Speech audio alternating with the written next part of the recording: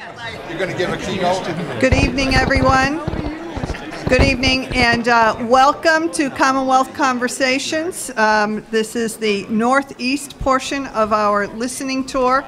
Um, my name is Eileen Donoghue. I am the senator for the 1st Middlesex District, which includes the city of Lowell as well as the towns of Dunstable, Pepperell, Tyngsboro, Groton, and Westford.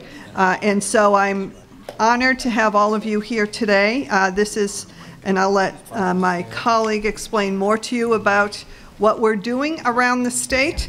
But thank you for coming to this town hall tonight. Um, I would like to take a moment to introduce to you my colleagues, and I'm going to give them a chance to come in and sit down. but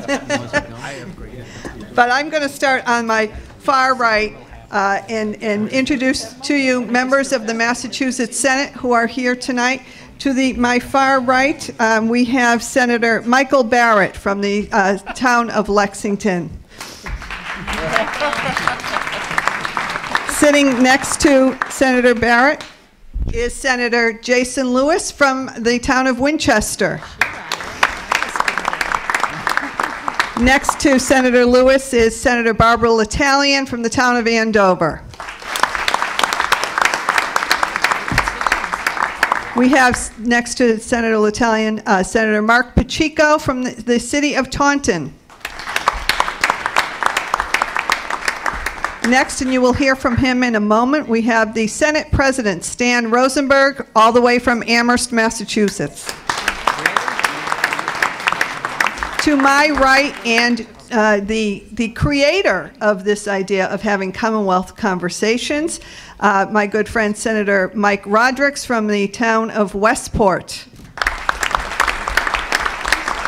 to my left is the Senate Minority Leader, Senator Bruce Tarr from Gloucester, Massachusetts. Next, we have from the city of Everett, Senator Sal DiDomenico. We have with us tonight Senator Jamie Eldridge from the town of Acton. Next, we have Senator John Keenan from the city of Quincy. I hope I said that right. And last but certainly not least, we have with us from the town, the city of Newburyport, Senator Katie O'Connor Ives. So I am going to turn this over um, now to Chancellor, our host, uh, our gracious host here. We are delighted to be at the University of Massachusetts Lowell, and we are also doubly delighted to have Chancellor Jacqueline Moloney here with us. Chancellor Moloney. Thank you, Senator Donoghue, and it is absolutely my honor and privilege to welcome you all to the University of Massachusetts Lowell and this beautiful university crossing. And for those of you who haven't had a chance to look out across the river at our North Campus, we're so proud of this university and so proud to have you here.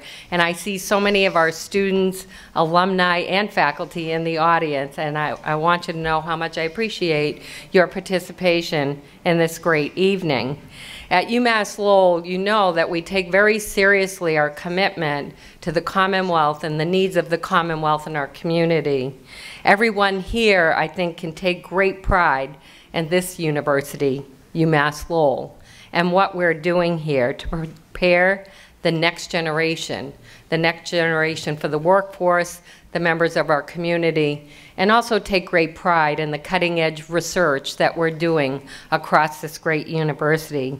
You know, when I first heard about the Commonwealth Conversation tour last year, I was so impressed by the commitment of our state senate to engage in plans for moving this state forward, and most importantly, engaging you and hearing you and what your ideas are. Congratulations to Senator Rodrigues for uh, bringing this idea to the forefront. But of course, this work should be no surprise. And I have to say, especially in the past year, this is a time we can all take great pride and comfort in being members of this great Commonwealth where our senators take the time to go out and listen to you and hear what the challenges are that you face, listen to your hopes, your dreams for the future, and how they can assist in developing policy that will advance those hopes and dreams. We're honored to have a role, a small role, in hosting you tonight and facilitating this discussion. I would personally like to thank Senator Donoghue for her incredible leadership as a senator, and prior to being a senator, her incredible commitment to the city of Lowell, where she served on the city council with great leadership and was one of the biggest change agents that led this great gateway city to the terrific place that it is now, the place where we are now. And I know when she joined the Senate, she looked forward to working with her colleagues, those represented here, to take the lessons that we learned about strong partnerships in Lowell to the Commonwealth. And we look at this tour as, I think, a similar effort. She has been tremendous, and of course, I would also like to thank the Senate President, Stan Rosenberg, who has similarly been a great champion, not just for the university system, which of course he has been a fantastic champion for all of UMass, but his leadership in the Senate has led to so many uh, positive changes for the Commonwealth, so many great initiatives that so many of us in this room have benefited from. Thank you, Senator Rosenberg, for your great leadership. And thank you to all of the members of the state Senate, we really appreciate your leadership. You are doing God's work in serving us, and we want you to know that we know the challenges you face as leaders, and thank you for taking the time to come and meet with this group. But before my final word, little secret. Okay, so Senator Donoghue and Senator Rosenberg are both graduates of UMass Amherst. Now, we're not competitive at UMass Lowell. And we know that they really care about the whole UMass system and they treat us all equally and as which, with as much love as possible that they spread across all the system. But if you want to be in on a secret, who won Hockey East Championship this past weekend? And I do think our Riverhawks are their favorite hockey team. Absolutely. And the truth is, we wouldn't be where we are without those two as lucky charms at our games throughout the season. So a special thank you for that. Honestly, it's a privilege to be here. Thank you for being at the university, and good luck with this discussion. Thank you, Chancellor Moloney. Let's hear for cha uh, outstanding Chancellor for the University of Massachusetts Lowell. Uh, next, we'll hear from our Senate President, Senate President Stan Rosenberg. Well, good evening, and thank you very much for uh, hosting us here this evening, Senator Donoghue, and thank you, Chancellor, for the generous words uh, that you've uh, given tonight to uh, Senator Donoghue, well deserved, and uh, also uh, for all of the work that the Senate is trying to do through our shared leadership model.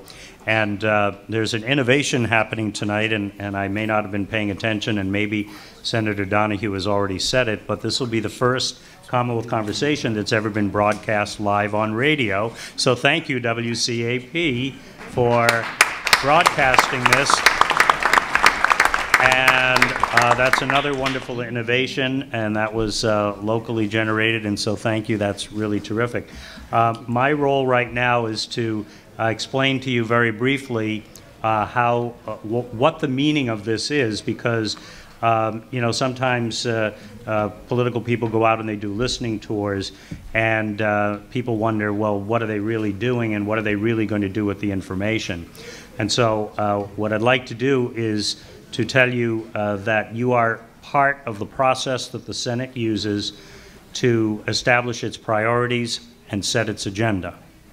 And so, the ideas and the issues and the concerns and the thoughts that you will present to us this evening will be used along with what we're hearing in eight other full days of touring the Commonwealth and we will go back to the State House with all of that information, and we will meet internally to then decide what our priorities are going to be.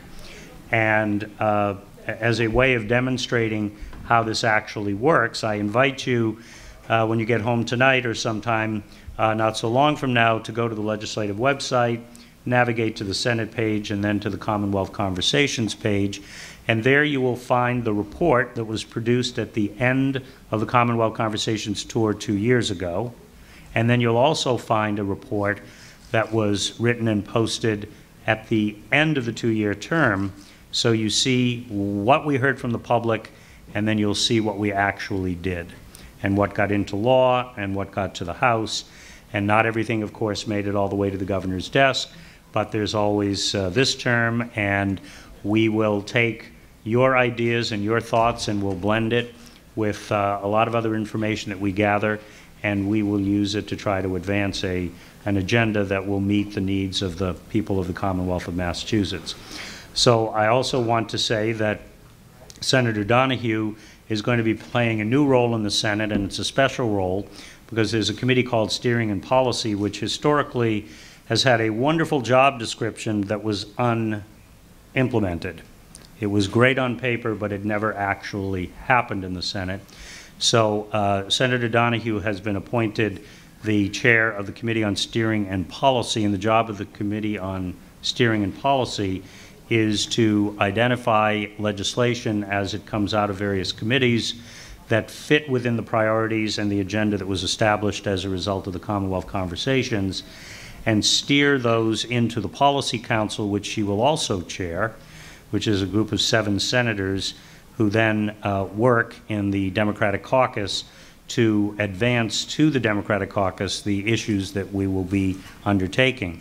But we are also a bipartisan group because although a small band they, though they are, the Republicans are a very uh, mighty force in the Senate, and their opinions and their ideas are also integrated uh, as a result of their participation in the Commonwealth conversations.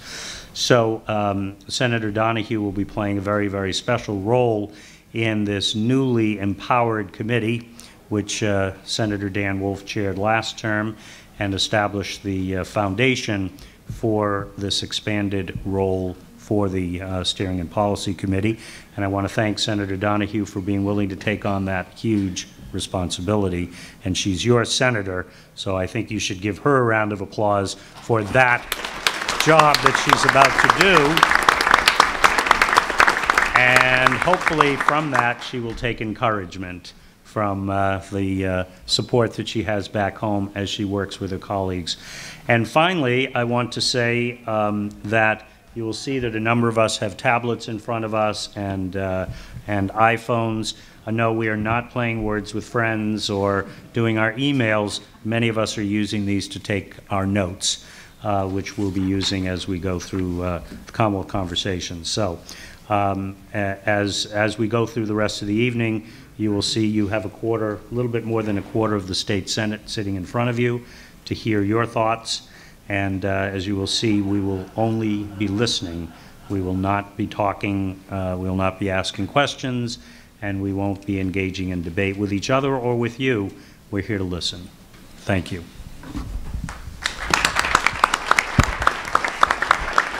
And next, we will hear from the leader of that very strong but small band, the Minority Leader, Senator Bruce Tarr.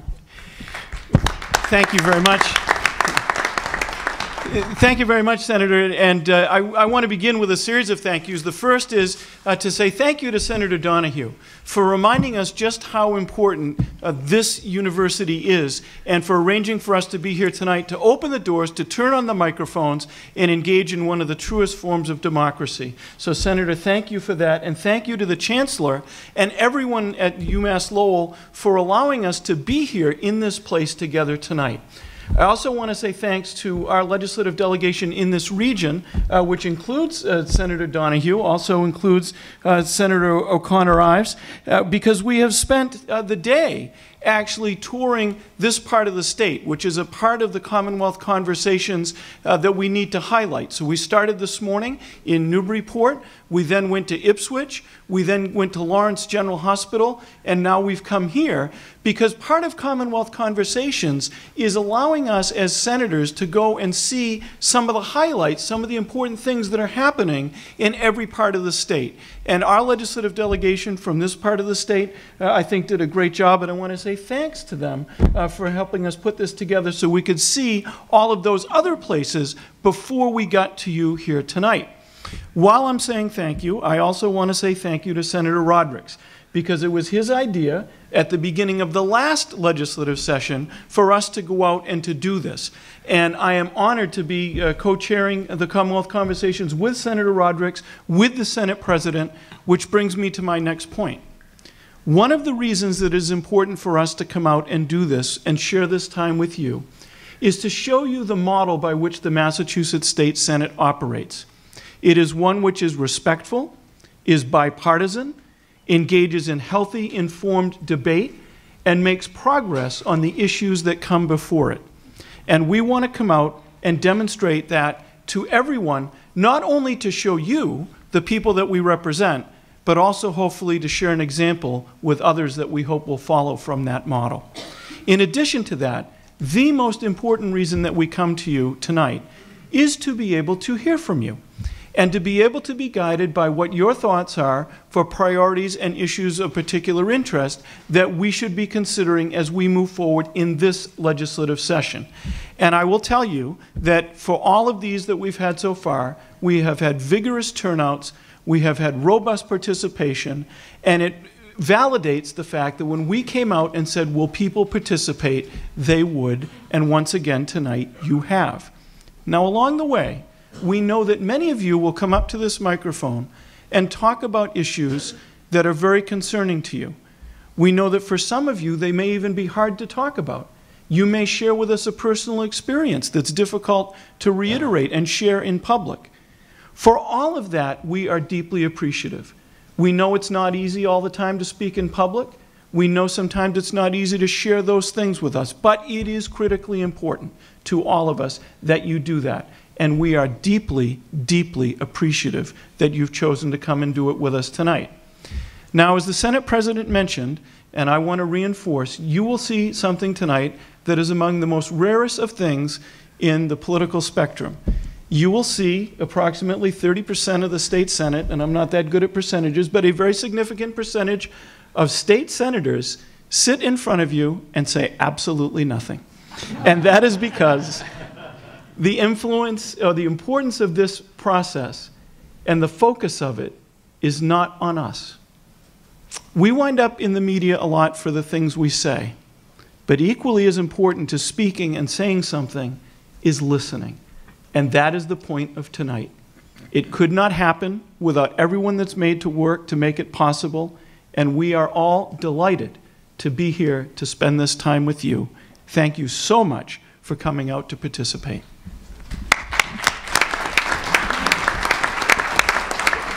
And next, I am going to turn the microphone over to the senator, as I mentioned earlier, whose idea it was to do this exercise, to go across the Commonwealth with Commonwealth conversations. So without further ado, Senator Michael Rodrigues.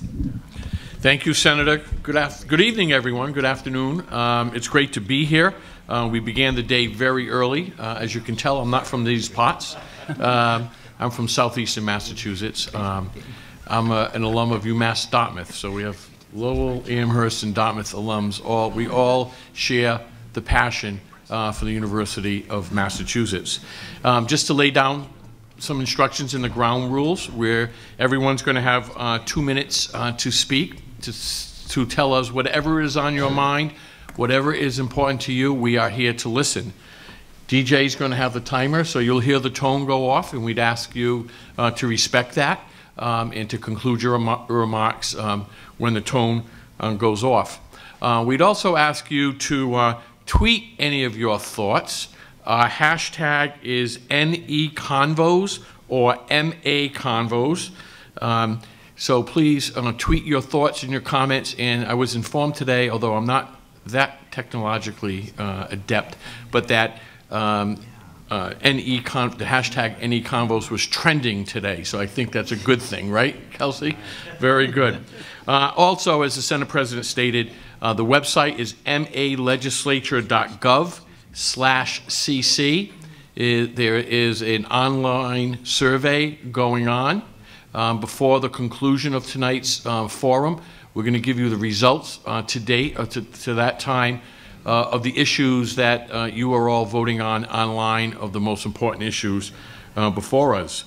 So uh, we're going to begin. And as uh, was stated by both the Senate President and the Minority Leader, um, even though there are a number of microphones uh, in front of us, the only one using, going to use it, Senator Donoghue, as she introduce our speakers.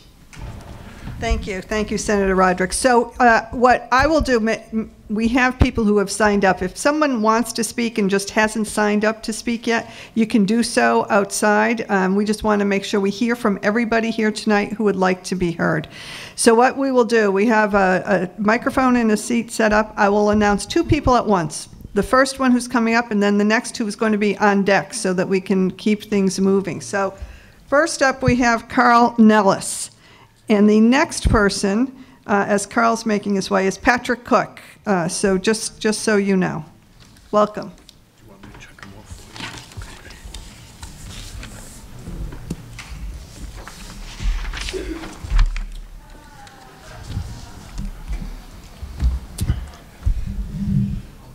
Uh, First, I'd just like to say thank you, senators, for, uh, for coming out and listening. Um, I am from Gloucester, so uh, I came to have a nice, uh, quiet, personal chat with, uh, with you, Senator Tarr. Um, I'm a member of a small group uh, called Essex County Number Six Indivisible. We've just started meeting in the past few months and talking about um, the, the legislative priorities that, that we have that we would like to share with the Senate. Um, and one of the things that's really inspired us in the past few months is um, the ACLU's Freedom Agenda. Are you familiar with the, with the Freedom Agenda? You're, you're nodding yes. Um, so there are a few uh, bills that have been proposed that have really excited us that we can get behind. Uh, the Fundamental Freedoms Act, which is uh, sponsored by Senator Chandler, the Safe Communities Act, uh, which Senator Eldridge sponsored, um, the Electronic the Electronic Privacy Act, which Senator Spilka sponsored, and the Mandatory Minimums Repeal, um, which Senator Creem sponsored. Um, so there are a number of us from Gloucester, so your constituents, um, people who, I live on Beacon Street, uh, people who walk down Main Street, I do my laundry on Chestnut Street at the Homestyle Laundry. Um, and I know that a number of my neighbors are afraid. They're very scared. Um, whether it's about our personal privacy, uh, with our electronic communications, whether it's about um, whether we will be uh, caught up in uh, deportation raids, whether it is that we um, will have our rights to free speech curtailed. Um, and so we are excited about this legislation that is putting those issues front and center and that wants uh, strong protections for, um, for us, for our neighbors, for our rights um, written into Massachusetts state law. And so we urge you, as your constituents, Senator Tarr, to co sponsor these bills. Thank you. Thank you. Patrick Cook? I don't see Patrick. Uh, Lynn Sousa? Is Lynn here? Okay. Lauren Corcoran? Sorry, this is Lynn. Oh, Lynn. Sorry. Hi, Welcome. Um, I'm here just to um, um, bring some attention on the foreclosure crisis still in Massachusetts. I just joined an organization called um, and I have been fighting my mortgage company for five years. Um, and it's basically taken everything out of me. But um, at one point, I did function at a high level, and then um, there was a lot of sickness in my family, which led to hardship. And the mortgage company offered me a modification, but they play their games, and I submit my documents, and they try to foreclose. So. Um, in, you know, I- I've done a lot of research and looked at the number of um, families that have been foreclosed in the state, and it's like astronomical. Um, So we could really help, use some help there. I mean, I'm like petrified. I don't know, you know, if I lose, do lose my home, where I'm going to end up going. Um, And it shouldn't be that way, because I worked hard for my house, and I had a great career. But um, the stress that they put on you and the games that they play with the sole intention of just taking your house in the, in the end anyway, um, it's just horrible. Okay, thank you. Thank you. Thank you very much. Lauren Corcoran?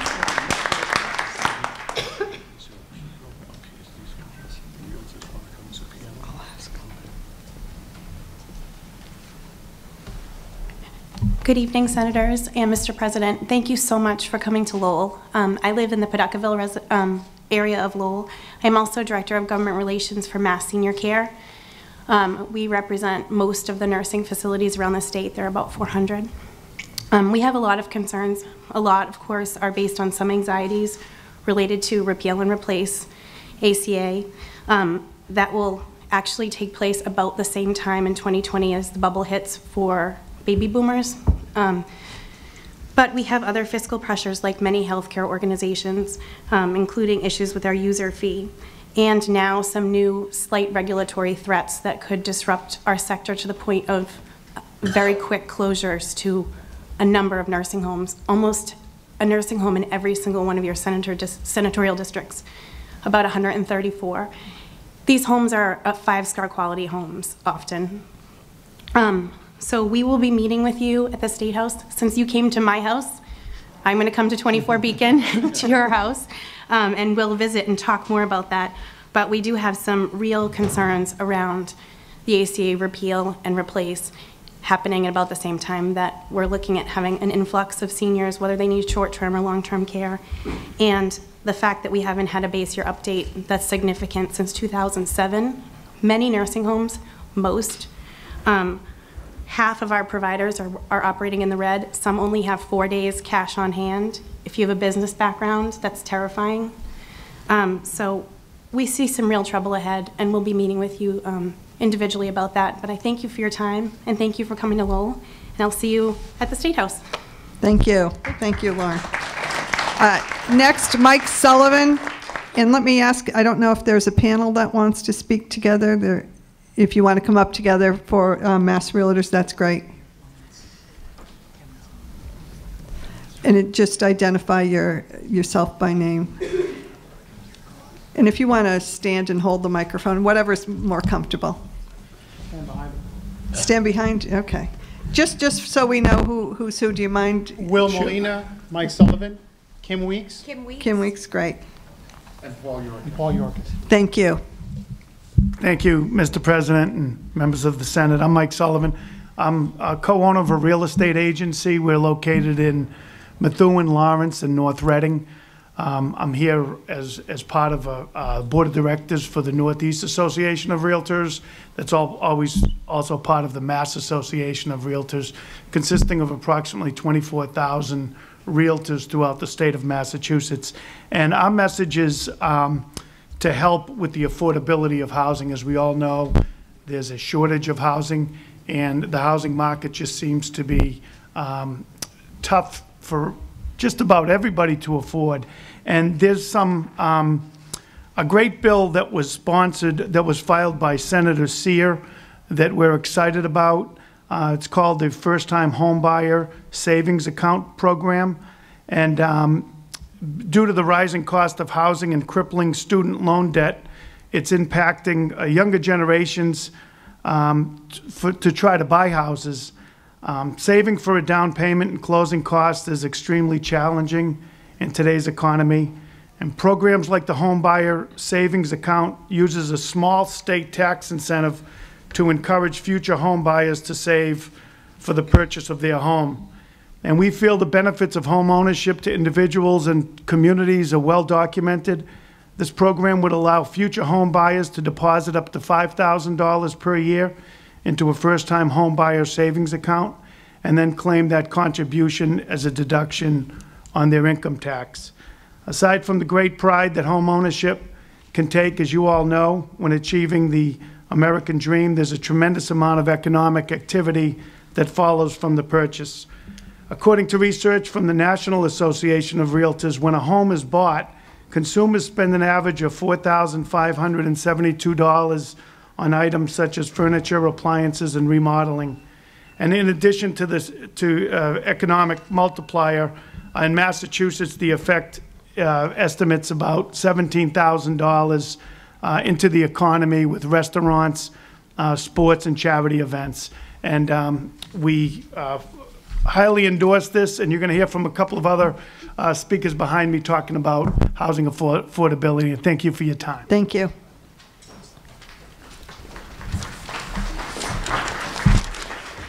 I'd like to thank you for the opportunity, and again, thank you, Senators, for setting this forum. Um, my name is Will Molina, and I'm a realtor uh, at the office of Cogerly and Associates in Haverhill, Massachusetts, and we have uh, several offices in the Merrimack Valley. So Merrimack Valley is my home. And I'd like to talk uh, or voice my concern uh, with regards to a bill that would allow current homeowners to complete any necessary loan modifications, short sales, and foreclosures, and remain exempt from paying taxes on the said forgiven uh, debt. Um, the Massachusetts Association of Realtors supports uh, S1568, an act relative to discharge of indebtedness of principal residents from gross income. This bill was filed by Senator Mark Montigny. This bill would mirror the federal law, the Mortgage Debt Relief Act of 2007. It would allow homeowners who complete loan modifications, short sales, and foreclosures to be held harmless from tax liability on the foreign, on the forgiven debt. We call this phantom income. Under current state law, the amount forgiven is treated as a taxable event. Let me give you an example. Assume a family purchased their home for 300,000 with a mortgage of 275,000. Later, they need to sell this home, but the home value in their area have declined and they can only sell for 225,000. At the time of the sale, the outstanding balance on their mortgage is 250, not leaving enough cash at settlement to repay the lender for the full balance. If the lender forgives the entire difference between the amount owed and the sales price, the debt forgiven will be 25,000. Under current Massachusetts law, the amount of forgiven mortgage debt is treated as income and taxed as ordinary income rates. Thus, the seller who experienced a true economic loss is required to pay tax on this phantom income. Even though no cash has been changed hands, and even though their experience is a loss. Under this proposal, the forgiven amount is not subject to income tax. Sorry. If this amendment is not enacted, homeowners will continue to pay income tax on phantom income on their state tax returns. Homeowners should not be forced to pay taxes on money, on money they have already lost with cash they never received and will never receive. A personal experience. um, I'm sorry, but the, the bell went off. Oh, okay. Well, thank you very I know. much. It's- Hopefully you'll support it. We, thank you very much. Just, um, when, when you hear that bell, that just is, your time is I up. thought it was someone's phone going off. Yeah, I know. It was. Kim Weeks, and I'm uh, a Realtor in Newburyport, Massachusetts. I'm also president of our Newburyport Board, and I'm here to speak on the home bill. And um, I guess I would like to voice the same concern as a Realtor regarding the affordability of housing in Massachusetts and just provide a few ways that we can begin to address this problem. The first is by supporting an act improving housing opportunities and the Massachusetts economy. So due to the short supply of housing in Massachusetts, the potential homeowners, they continue to face increasing housing costs. And one of the many issues driving the reduced housing stock is the presence of barriers of production, many of which are found in the current zoning laws.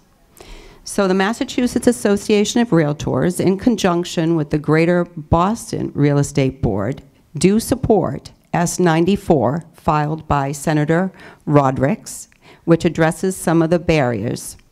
Some of the provisions include the allowing of multifamily housing construction by right, allowing accessory dwelling units by right, easing the production of cluster development housing, simplifying the variance burdens, and approving special permits by a majority vote. Zoning is too often, it's used to prevent the production of new housing in Massachusetts. So this bill requires that each community share in the work required to begin addressing the problem of affordable housing in our Commonwealth. I thank you all very much for listening. Thank you. Next.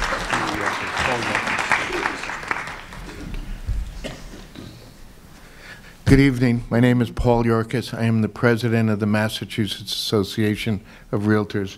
And I would like to thank you collectively as a group, but also each one of you individually for being here and for um, listening to not just us, but all of the other folks who will be speaking with you tonight. I am asking you not to pass legislation to necessarily, but to use your influence this evening when you get back to the State House to try and change some regulations that would allow all of the Commonwealth of Massachusetts to have the opportunity to have high-speed internet. This portion of the Commonwealth is fine. Western Mass and North Central Mass is not. Um, yesterday I had the opportunity, along with another realtor from Alford, Massachusetts, yes, there is a community named Alford, um, fellow by the name of Tom Doyle, and we met with Deborah Anderson and Donald W. Bokey, both of whom are assistant attorney generals who deal with contracts. And there are municipal light power companies that want to implement high-speed internet services. And the um, Massachusetts Broadband Institute has been changing their policies quickly recently. But money is what is needed to be freed up so this can happen quickly because the economic impact of a lack of broadband service in western and north central Massachusetts is having an incredibly negative impact on housing, on education, and on small businesses. And we believe that you are in a position to talk with members of the administration about making every, having as many rules and regulations streamlined as possible so the money be, can become available. And in addition, last comment is to please consider uh, changing the Mass Works grant program to include high-speed internet as an eligible project. And again, Thank you. thank you. Thank you very much. Uh, We have uh, also listed Saloy La- Lafferty, or Laff, no? Okay, next, D. Halsnick. And I want to make sure. Halsik, oh, D. Halzak. Halsek. I just wanted to make sure I was pronouncing your name correctly. Thank you.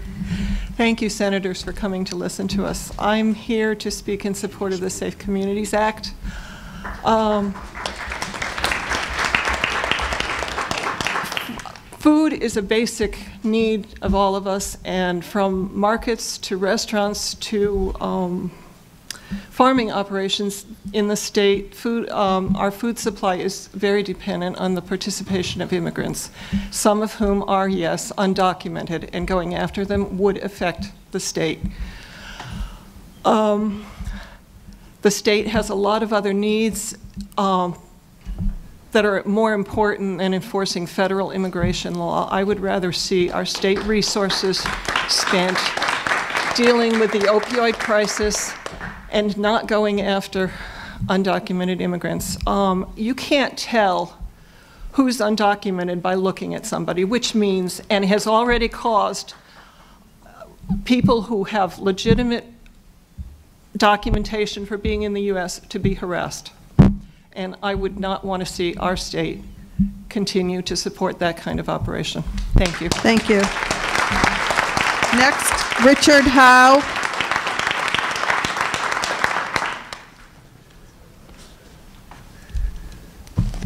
Good evening. Um, particularly Senator Donoghue must be looking and saying, that's not Richard Well, there's, Howe. a, there's two. I'm, I'm not related to the more famous Lowell Howes, um, but I'm from Andover and Senator Well, L'Italien's welcome. district. We're happy to see you. Thank you. you. I think, in fact, my namesake may be here tonight. He and- was. He was here a minute ago. and I hope I, saw don't him. embarrass him. um, I uh, am recently retired. Uh, I live in Andover, um, and uh, and just after the election this fall, uh, I went to a meeting, as many of us did, that was called by uh, Congressman Seth Moulton. Uh, down in Peabody, and about five or six hundred of us there, divided up into groups on various issues. Um, the one that I chose that I feel very strongly about is income inequality, uh, and attended a, a group meeting there. Uh, and we've met since then. Um, Massachusetts is one of the worst states in the country in terms of the inequality between our highest earners and our lowest earners. And, uh, and that's been the trend in all states since the 1970s. So as we met, um, we, dis- we wondered what we could do to think globally but act locally. And we decided that uh, we would link up with an organization called Raise Up Massachusetts that you may all have heard of.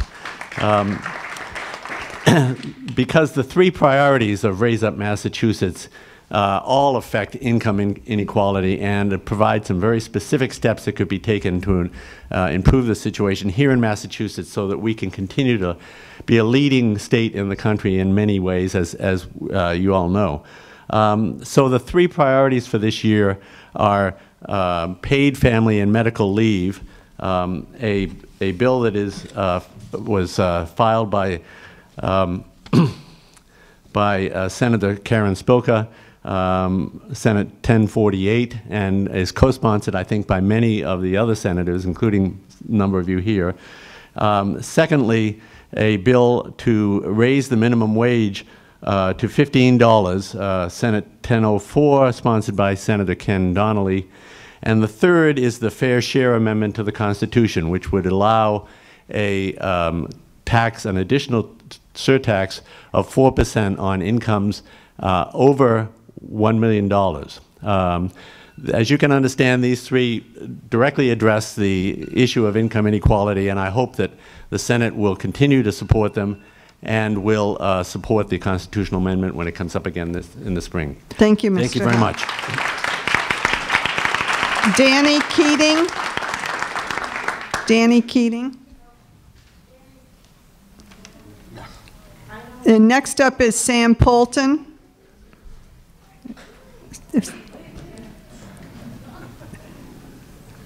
Maybe, maybe we'll take Mr. Poulten while we wait for Danny.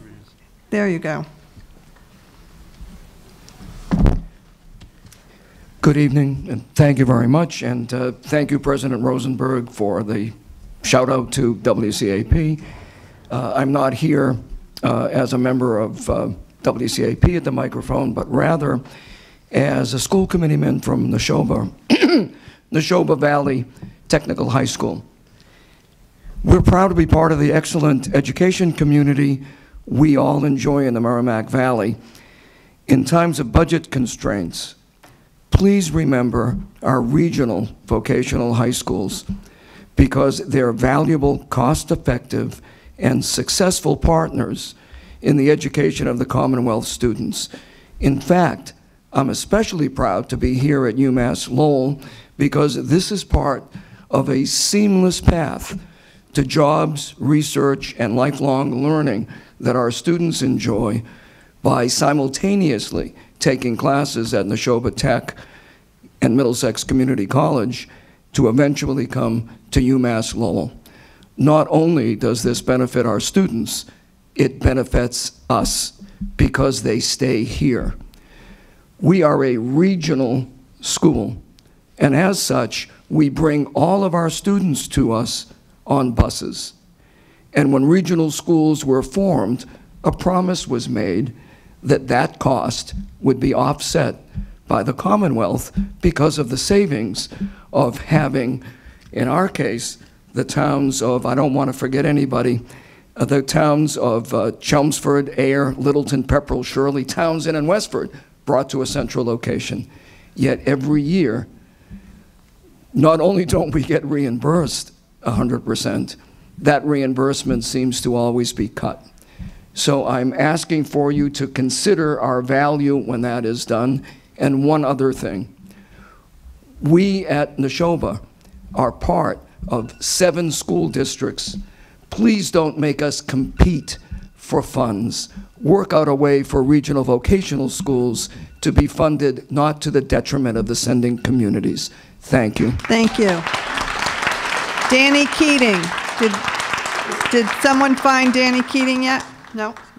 Okay, well, we'll move on. Um, Robert LeBlanc. So I guess. Pass, Robert would like pass. Okay. Keith Jones. Keith Jones here? Uh, I'd, uh, I'd like to talk about uh, climate change uh, and global warming. Uh, I think Massachusetts is an extremely progressive state. We've led on the uh, health care bill with uh, um, Romney Care. We've led on gay marriage, and I think we should start leading on climate change. There's a, there's a bill that was proposed, S 1849.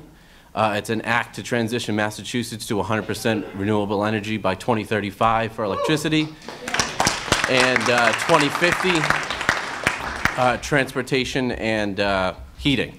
Uh, I think it's extremely important for us to uh, think of my generation and my son's generation and uh, transition and lead the country. Uh, I'd also like to beat California to 100% in renewable energy.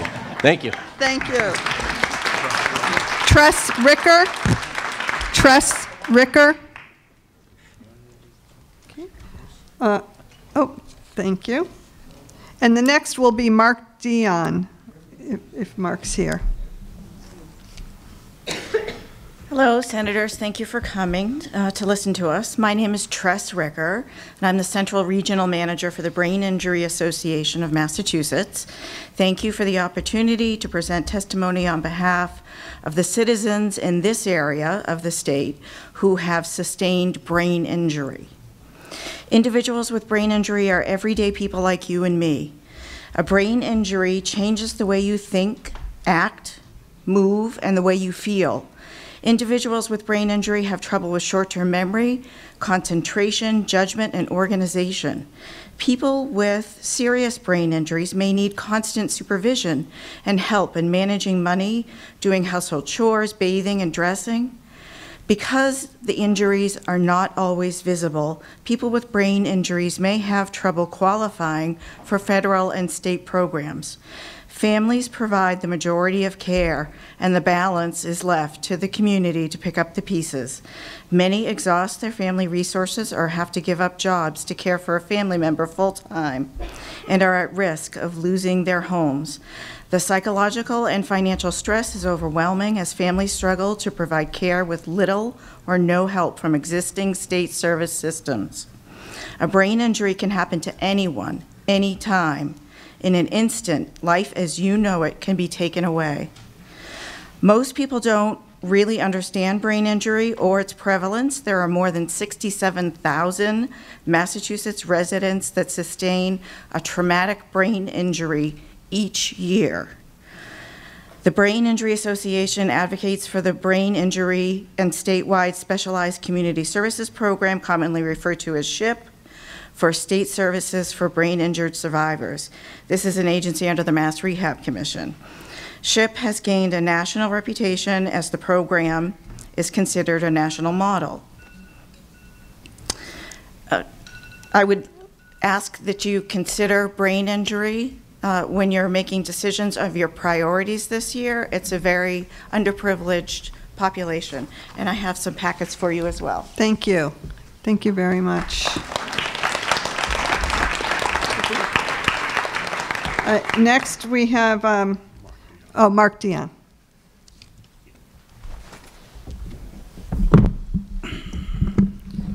Um, Thank you. Thank you for coming, I guess. Um, What I'd like to say is this, and it's probably not going to make me the most popular man in the room, but I would sincerely hope that as senators, you do not push through any legislation that protects criminal aliens, illegal immigrants. Okay? I heard one of, a gentleman here speaking about being afraid. Well, we're afraid. We're afraid of, of this state becoming like California. We're afraid of illegals, this SAFE Act, so that illegals are protected and they're not, they're not, the police won't help the, the government deport people that are here illegally. And they are criminals. We're afraid of that. We're afraid of politicians that give themselves enormous raises while towns are struggling and other social, social people, social things are, are losing money and don't have money to fund them. That's what we're afraid of. Sorry if I sound so angry, but you know what? There's a lot of people out here, and we've had it up to here. Thank you for your time. Thank you. Ann Furtado. Ann Furtado.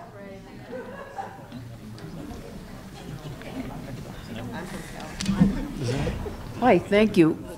Um, I represent a group called Moms Demand Action for Gun Sense. And I'm a reluctant political person because I got involved in this group after Sandy Hook. It's not my issue. I never had anybody personally die. It's a very extremely personal issue, though, to me. It's not the only issue that's important to me. Responding to the person that just went before me, I'm afraid of that, of being murdered here by people that have guns that shouldn't have them. I'm not afraid of immigrants. I'm not afraid of Muslims. I'm afraid of losing my Bill of Rights.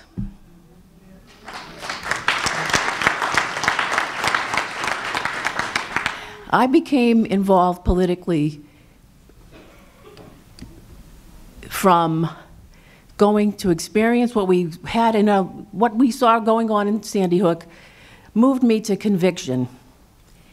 And I've gone from conviction to action. I'm in several indivisible groups, and this is one of the things that I can do to try to ask you to also look at that. So when the changes come and we're, go- we're going to get concealed carry everywhere, what can Massachusetts do? We have a great Attorney General who has done marvelous things, has stuck her neck out on the line because she's actually trying to enforce the assault weapons ban that has that the other thing that happens here is we make laws but we don't enforce them. So that's all I have to say. Thank you. Thank you. Paul Dion. Paul Dion.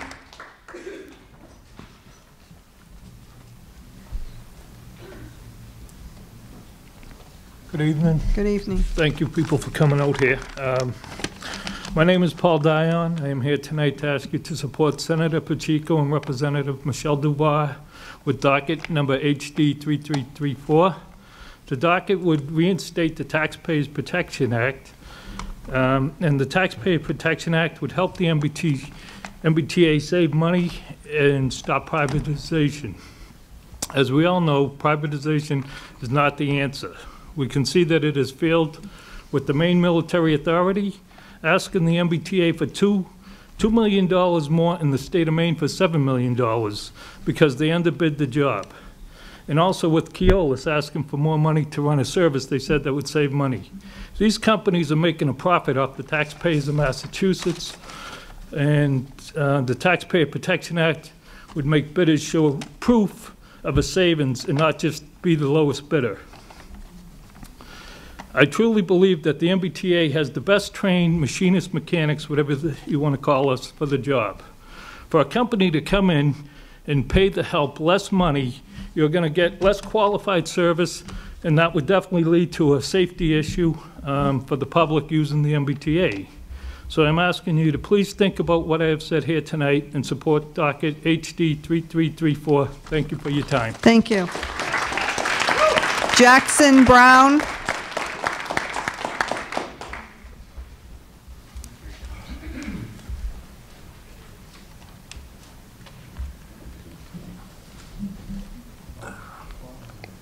Well, first, thank you very much for um, setting this all up. It's wonderful to um, get some face time with a lot of you. Um, this is actually directed at Senator Bruce Tarr. As you know, Massachusetts has become the state with the lowest gun violence rate in this country. This is according to the most recent CDC report. The evidence in this report shows that year after year, that states with common sense gun laws have lower gun violence rates compared to those that don't. I can't presume to know where you stand on all gun laws, but I am concerned about your most recent actions. You have tried not only to oppose Maura Healey's gun violence initiative, but you have also actively tried to strip away her authority as Attorney General in this regard. You have introduced legislation to legalize silencers here in the state of Massachusetts, and you have aligned yourself with the Gun Owners Action League at their events. So my question is, and it's basically a rhetorical one, um, do you care about gun violence prevention?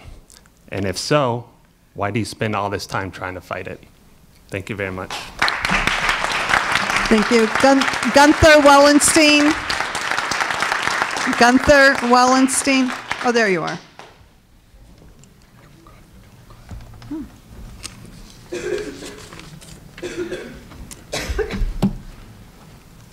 Good evening. Good evening. Thank you for making time for this public forum, and uh, welcome back.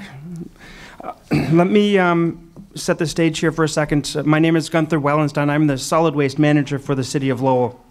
I'm here to ask uh, the- you guys, as a group of senators, to consider the paint bill when it, uh, the paint care bill when it comes before you. Lowell manages household hazardous waste, as do all of the municipalities you, you uh, um, represent.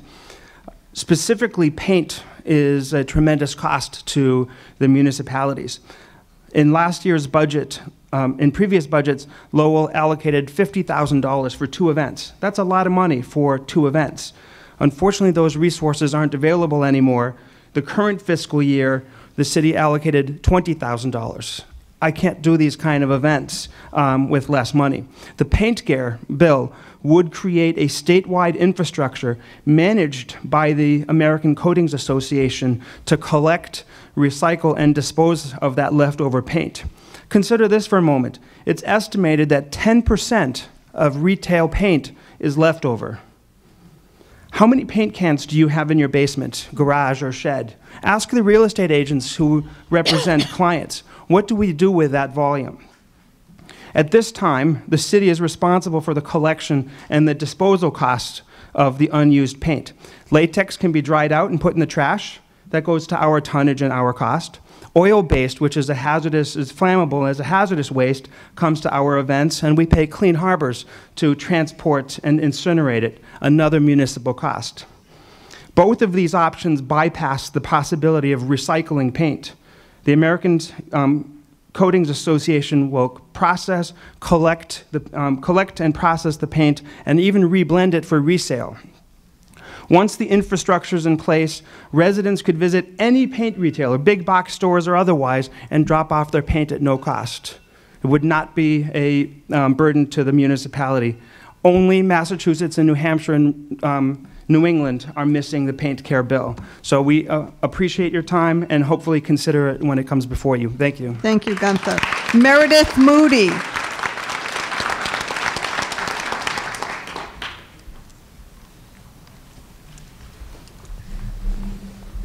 Hello, uh, my name is Meredith Moody, and I belong to a group called the um, Social Justice Coalition in Andover. And um, we've broken up into affinity groups that are working on, uh, and I'm on the Environment Climate Change Group.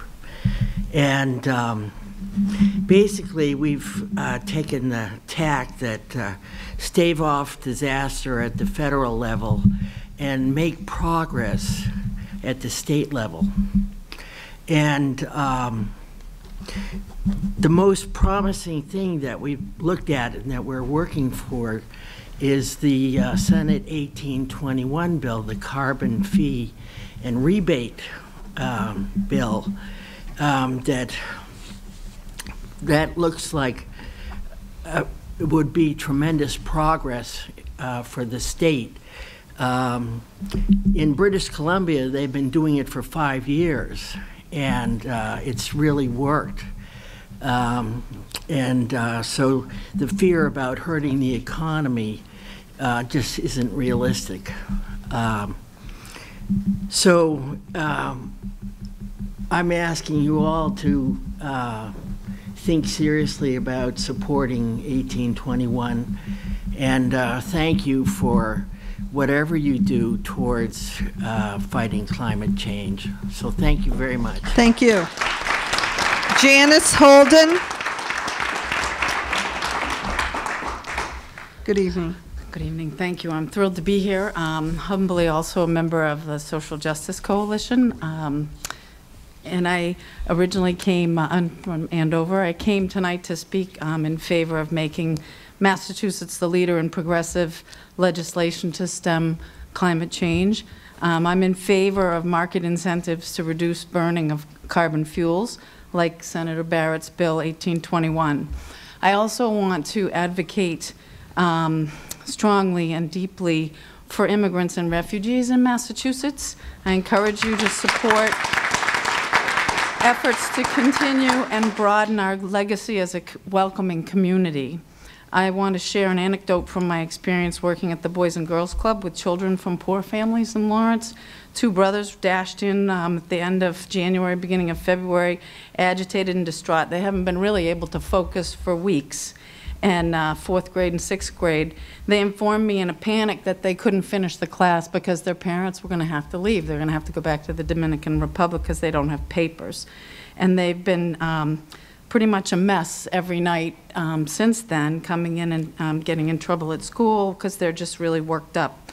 Um, and that is in, despite the fact that Lawrence has a, a local ordinance, um, the Lawrence Trust Act, which pro protects law-abiding, unauthorized, working families and um, immigrants that um, that ICE might persecute when they were trying to pursue them, whether they um, hadn't, well, when they hadn't um, performed any kind of cr criminal activity. So these children are afraid and um, distraught, and they're not the only ones, and the, they're the only ones that came forward to me. Um, I also was recently surprised how much other kids are thinking about their immigration status. We made um, a triple green pasta. Yes, I am a licensed nutritionist. Then the kids, I asked them to rename it. And one boy from Cameroon looked up at me and he said, We can call it Liberty Pasta. And I said, Why Liberty? And he said, You know, that green lady that's standing, Liberty Pasta. So,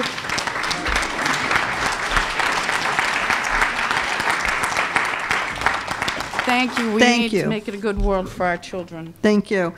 Quinn Lawrence.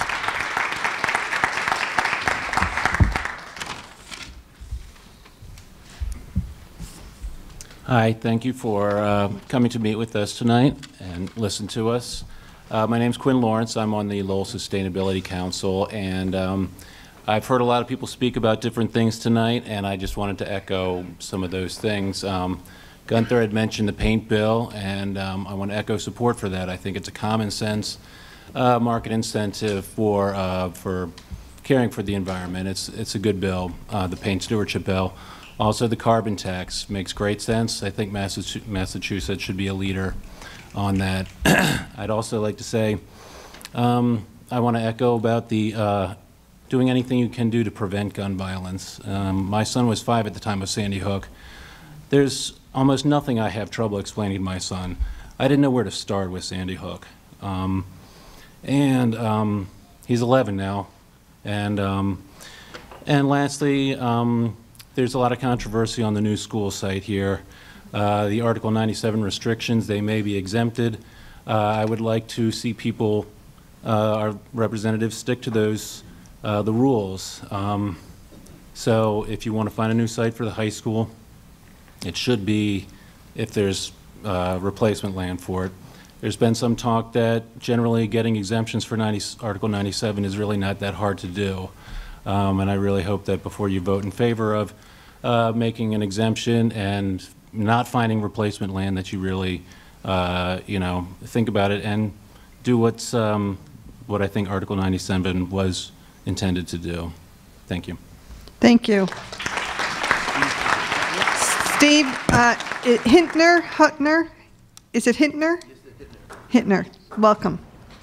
Thank you. Uh, This is some handouts that you folks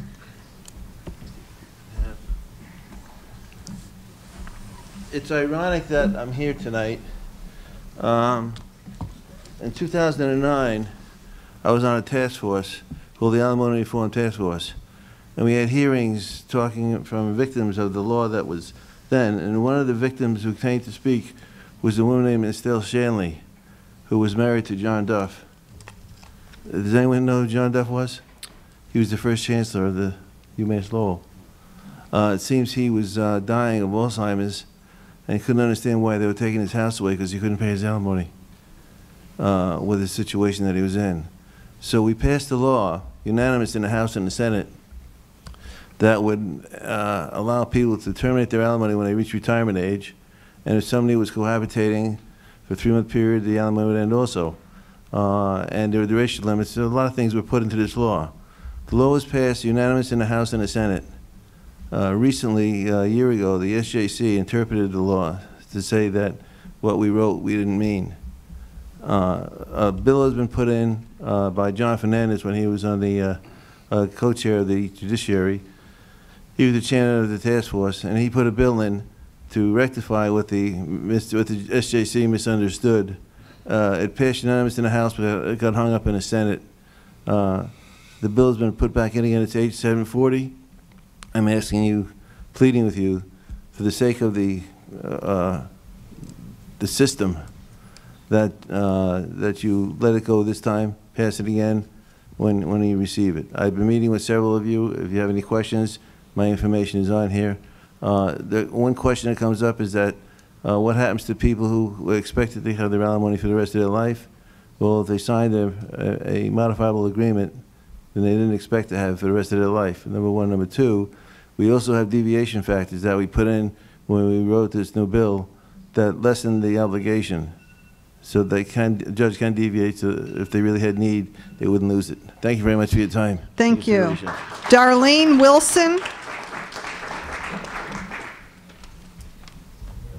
Hi, thank you Hi. for coming here tonight. Um, I actually especially want to thank you, Jamie Eldridge, for uh, proposing the bill for safe communities. Um, You might have noticed some of us are wearing these green slips. Um, Looks a lot like St. Patty's Day, and it might as well be, because really, unless there are uh, any Native Americans in the room, we're all descendants of immigrants, and I think it's important I think it's important that we make sure that Massachusetts sets the tone for the rest of the country, that we protect our communities of all ages. Um, we need an immigration, um, uh, I'm blanking on the word, but we cannot fault families for uh, a government that hasn't figured out how to deal with immigration. So that's two separate things. I think the things that we need to do is make sure that everyone, every resident in this state, however we got here, is protected. And that's what I want to say. thank you. Thank you. Thank you. Lis- Lisa Lee. Lisa Lee. Hi. Hi, thanks for coming out tonight. Um, and again, also thank you, uh, Senator Eldridge, for sponsoring the Safe Communities Act. I also would like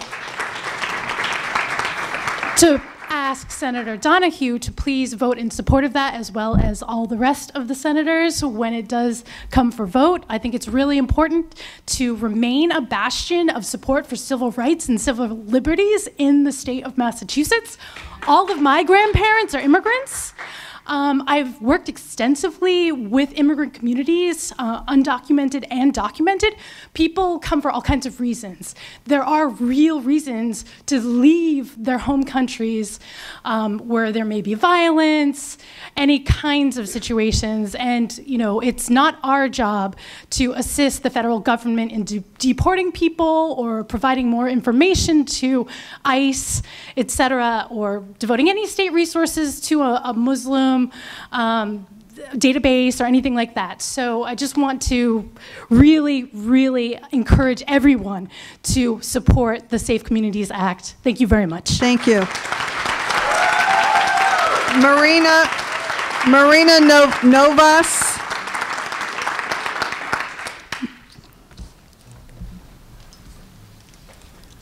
And if I mispronounced your last name, I It's apologize. Novice. Novice. Thank you.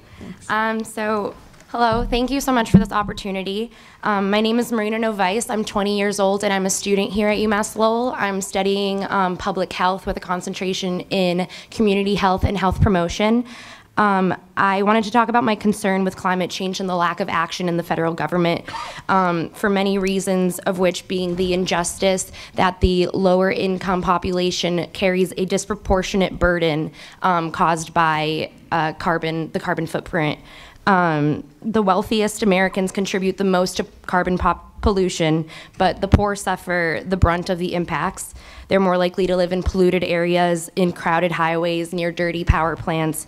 Um, they're the least equipped to deal with loss or any um, structural damage during severe weather, which is all, if not a result of climate change, contributed to by climate change. And it's market distortion. The cost of pollution is not borne entirely by the polluters. Um, so I strongly urge you to pass a carbon pricing policy, um, either H 1726 or S 1812. Um, I'm optimistic about this climate solution, and I hope you will work together.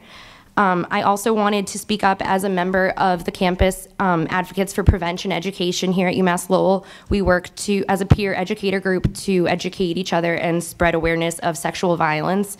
I'm very concerned with um, Betsy DeVos's, I'm sorry, um, Betsy DeVos's uh, position as Secretary of Education. She is a woman who has herself donated $25,000 to FIRE. Um, their mission is to empower those who sexually assault rather than those who are sexually assaulted. Um, one in five women on college campuses will be sexually assaulted on our time here um, doing school. And um, she has blatantly expressed her concern or her desire to repeal the Campus Save Act. So I am asking, um, as representatives of our state, to please keep our um, the students here in mind. Our safety is important. Um, we shouldn't have to worry about being assaulted on our school campus. Thank you. Thank you. Sue Kim. Sue Kim. Uh, Hi, um, I just want to uh, um, echo what people have said. Thank you all for coming. Um, I'm here um, in support of many things, including the- protecting the environment, uh, gun control, but particularly um, I'm here to uh, support the Safe Communities Act. Um, I think it's important to understand, uh, A, that a that people are you know being detained and for deportation. People are in the middle of people who have been here for decades who have built families who have built jobs who have been careers um, who have become stable members of the community but even more than that i want to convey to you the sense of terror and anxiety that is being spread in our immigrant communities. People who are it's not just the undocumented who are being sort of affected right now. I can tell you um, as a teacher, I have students, people who are, you know, either international students or uh, citizens who are afraid. They're afraid because they're Muslim. They're afraid because their parents may be undocumented. They're afraid because their cousin or their brother or their, you know, grandmother might be undocumented or have some kind of, you know, a status, uncertain status.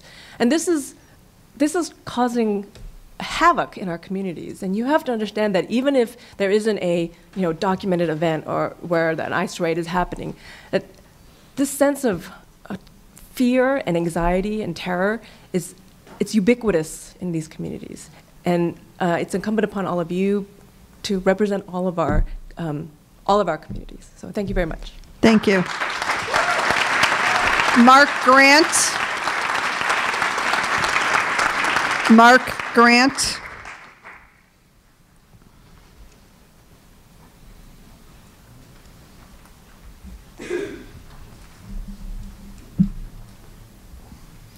Good Good evening, evening. Senators. Um, Thanks for coming out and listening to us tonight. Uh, I'm I'm a resident of Chelmsford and a member of 350 Mass and Citizens Climate Lobby. If you know those groups, you know that I'm going to advocate for a bunch of measures uh, fighting climate change. Um, I'd like to mention those. Some have already been mentioned. I have some others. Um, but then I'd like to tell you briefly why it's so important that we, we make this fight. Um, first, several have mentioned uh, putting a price on carbon. I do support Senator Barrett's uh, bill to do that, 1821. Um, there's also a measure to increase the renewable portfolio standard. I think that's very important that Senator Pacheco has advanced. Um, there's uh, several measures that Senator Eldridge has put forth that I think um, are very important. One is to stop the pipeline tax, uh, to codify the rejection of ratepayer finance for new fossil fuel infrastructure that the SJC uh, decided on last year. Um, there's also a measure to increase the uh, the incentives for low-income solar to make uh, solar uh, available to, to folks that don't have roofs that are good for it or to renters. And there's also uh, a measure to protect folks from gas leaks. We have over 200 leaks in the city of Lowell that haven't been addressed for decades um, that need to be addressed quickly. They're contributing not only to climate change but also to ground level ozone that's affecting people with respiratory illness and asthma. Very briefly, um, can Massachusetts stop climate change? Not by ourselves. Can we lead on climate change the way we've led on things like health care and marriage equality? Yes, we definitely can. And now is a particularly good time to do that because the federal government is stepping back. So we need to step forward. We need to be the laboratory that shows the nation how it's done over the next four years. Thank you. Thank you. Gina Grandberry. Gina Grandberry.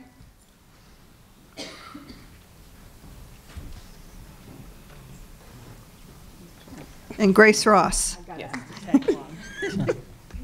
Um, good evening. Again, my name is Gina Granberry from Lynn, Mass. I'm actually from we are Massachusetts, from Lynn, and I'm actually um, calling. I'm here to speak on behalf of the foreclosure issues that still exist in Massachusetts, uh, whether they're most of them are wrongly foreclosed or predatory lending, which happened to be what happened to me back in 2011. Um, it's been six years, and I finally got some resolution. Um, during those six years, it's been like a struggle mentally, but grounded in my faith, that has, to, that has sustained me mentally. I was lucky enough to hear about some um, affidavit or document need to be recorded at the Registry of Deeds in February to preserve my rights to fight for my home. And it appears the court, even though I haven't, I haven't received any notice, ruled that I um, get to stay in my home. So once again, I'm just asking you to address the concerns and needs of Massachusetts, especially Lynn, where I live, and of course, all the surrounding areas. Thank you. Thank you. Grace Ross.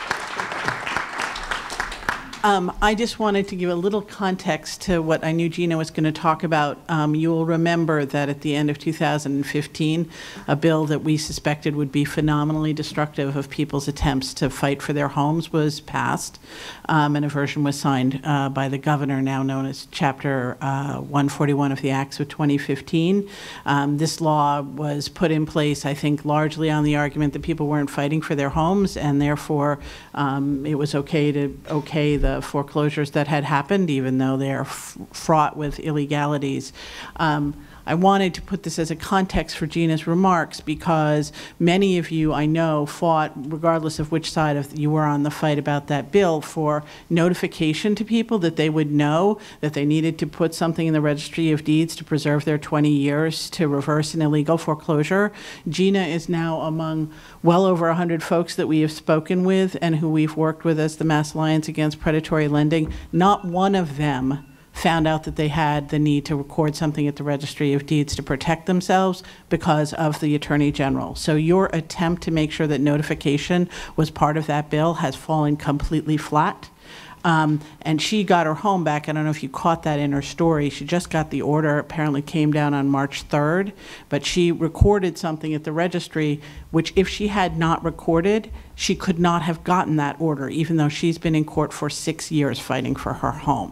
So this law is not only unfair, but it's not being carried out in a way that anybody knows that they have to preserve their rights, and there are plenty of folks like Gina out there who are fighting who will have lost their homes because they didn't know and they were not informed. She's done an awesome job, pro se, winning her home back, but she wouldn't have been able to do it if people on the ground weren't telling other people because there's been no notification to anybody. Thank you. Thank you. Patrick O'Mara. Patrick.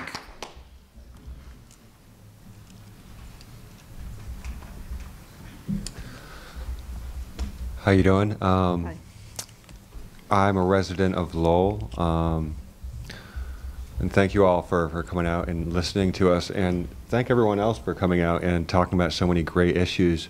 Um, it's great to hear people concerned about so many different things. Um, I'm here in particular about the Safe Communities Act. I think it's an important piece of legislation that should be pushed up on the agenda, and um, it's great to see people wearing these green armbands. Um, so I think it's pretty clear that a lot of people support this and want to live in communities with immigrants where people feel safe, with uh, productive members of either productive members of society. Um, so yeah, I really don't have much to add that Lisa and Sue Kim and other people haven't already said. I just um, want to, you know, encourage you to move it up on the agenda and make it a priority because it seems like a lot of people support it. Um, and thanks again. Thank you. Mike Maley.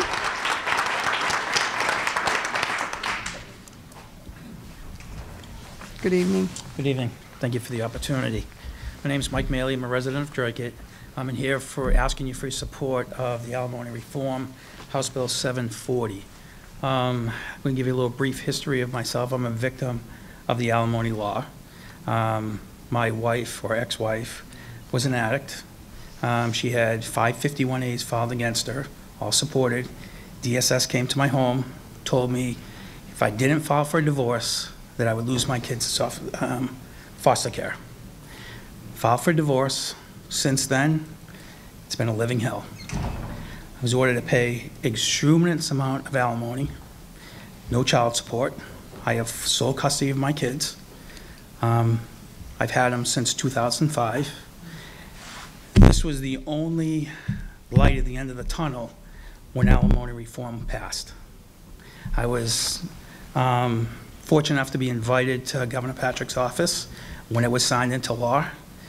Currently today, um, the way the rulings have been, they've been all over the place. There's nothing that's justifying that's written what the law was intended to do. Um, I'm still faced with enormous debt. My kids have not been uh, privileged to be brought up like normal kids. Um, this alimony reform is necessary. I beg you to co-support the bill. Um, I know a few of you already have. Um, I'd be more than happy to talk to any one of you privately, um, but please support this bill. Thank you. Thank you. Bob Willard.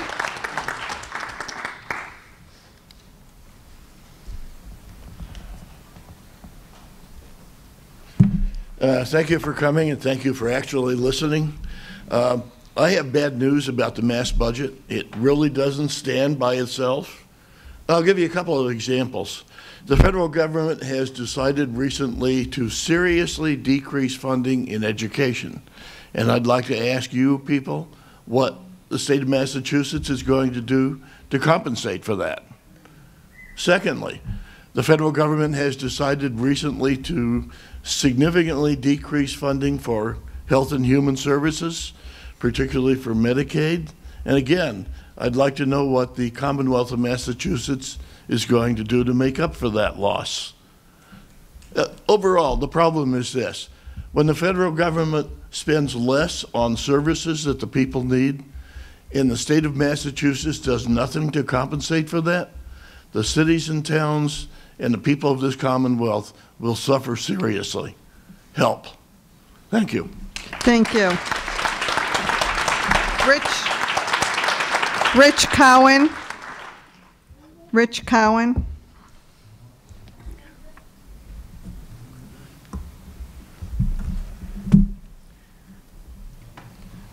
My name is Rich Cowan, originally from Marshfield and now living in Dracut. I wanted to also thank those of you who helped us in Dracut when we were fighting that big pipeline. I have a first grader my town has the third lowest level of per pupil spending in the state. So I wanted to address an issue related to Chapter 70 and requirements for school spending. The issue is this. There are systemic disparities within the public school and charter school funding formulas. Now, the Senate has already addressed issues of disparity in wealth between towns, which is important, but not my focus this evening. The problem in the formula is that two communities equal in wealth, both spending what they are quote unquote required to spend under the school spending formula, can have vastly different resources to educate a K 12 student. In some districts, the community counts things like retiree insurance, Medicaid reimbursement, school choice revenues as a debit or credit to meeting its obligations to school spending. In other communities, the situation is reversed. This can swing what a district is obligated to spend on its school system by 10% or more. For a district of 3,500 students, that's 4 million a year. Second point, some districts border, border um, other towns with higher levels of school spending where the area charter schools are located. Dracut is an example. The result is that our town now pays 30% more on the education of a charter student than what is spent on education of a student in the traditional district or students in the other school choice programs. As a result, the class size for the district schools is 25% higher, and language and art classes are available at the charter school, but they were cut from the district schools. And now we hear that Donald Trump's budget would cut at least another $75,000 from our special education programs in Dracut. Uh, I urge the state Senate to work harder for equity and educational opportunity by standardizing what counts as school spending across towns and to stop over subsidizing charter schools, two practices which are damaging and draining funds from traditional districts. Thank you. Thank you. Mark Pratt, Prattman. Mark? Thank you, Senators, for coming out here tonight. Uh, I live in the neighboring town of Tewksbury. I'm a uh, town selectman in the town. And what I am asking is uh, for increased funding for sidewalks along um, um, uh, Mass DOT roadways, secondary roadways. Um, we have a, the town roadway that goes through our main road is Route 38. Um, it's a shame because we have sidewalks that just end, that go through our town. It's not just Tewksbury, there's a number of towns. Mass DOT at this point has a maintenance contract of, of about $100,000 a year for do sidewalks improvements for 62 cities and towns. That's not enough to do anything. Um, a couple of years ago, they went in and they put handicap accessibility through some of the road on where our sidewalks are, which is great. I love that. But those sidewalks lead to nowhere. And so we have a, num a number of developments that have been going on, specifically on 38. A lot of them are handicapped people that are living there. Each day, as I'm driving down the town, I see somebody in a wheelchair getting off the sidewalk, rolling into the middle of the street, and trying to get safely another 100 yards where there is no sidewalks. Um, we need to increase that funding. Um, I would like to see a bill that, say, that would state that any, all secondary state highways must have sidewalks along them. Um, this isn't just for, once again, Tewksbury. There's a number of communities that have secondary roadways, and the sidewalks just don't go anywhere. Uh, we, we're growing. We have a number of new developments that are coming in. I see the, the children walking up, the, up and down the roadway. I mean, they go from, they can't walk from the town center to come to Lowell to go down to the stores without walking in the street. There's no street lighting and neither side of the road has sidewalks. And it's pitch black down there, especially around 6 o'clock at night, and it's unsafe. Um, and, and, it's not just, once again, our community. So if we can increase funding for that, I'd really appreciate it. So thank you. Thank you. Bill Schroeder.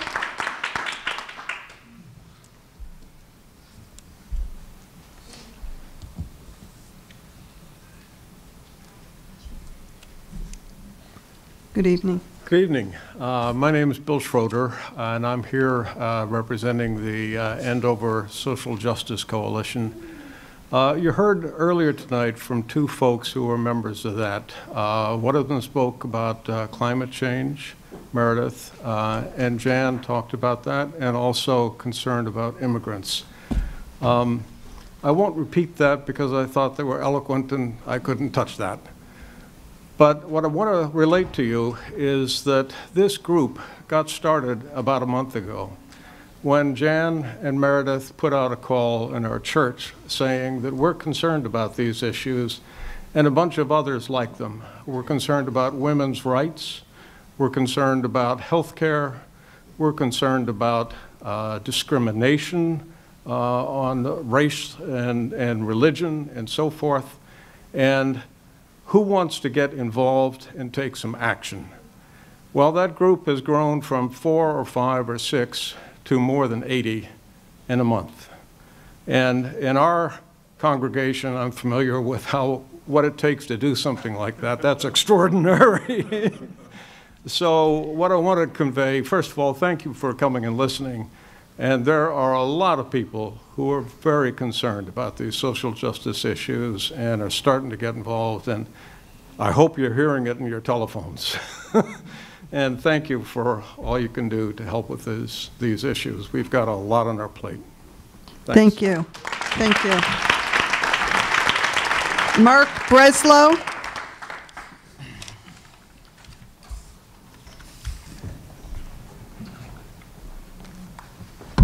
Hi, thank you for hearing me today. Uh, I'm here to speak also about climate change. I've been working on climate change for the past 17 years. During most of the Patrick administration, I worked on climate change policy at the Executive Office of Energy and Environmental Affairs. I was also director of the Electric Power Division at the Department of Public Utilities. Uh, during that time, I was lead author of the state's Clean Energy and Climate Plan for 2020. Um, also, two years ago, when the Department of Energy Resources had a consulting study done on the feasibility and impacts of doing carbon pollution pricing, I was a co-author of that consulting study. So I want to speak to you today on behalf of carbon pollution pricing policy, both the bill in the Senate, Senate 1821, and House Bill House 1726. Um, as you probably know, the state has legal requirements to reduce its greenhouse gas emissions. The first deadline for that is 25% by 2020. The last deadline is 80% by 2050. Um, as the person who authored the first plan to get us to 2020, I can tell you we may or may not make that. I think we're a little bit short right now. And we have no idea how we're going to get to 2050. Um, we need pollution pricing as one of the principal ways that we can get to those legal requirements. Um, if you do the simple math, we need to be reducing emissions beyond 2020 by close to 20% every 10 years.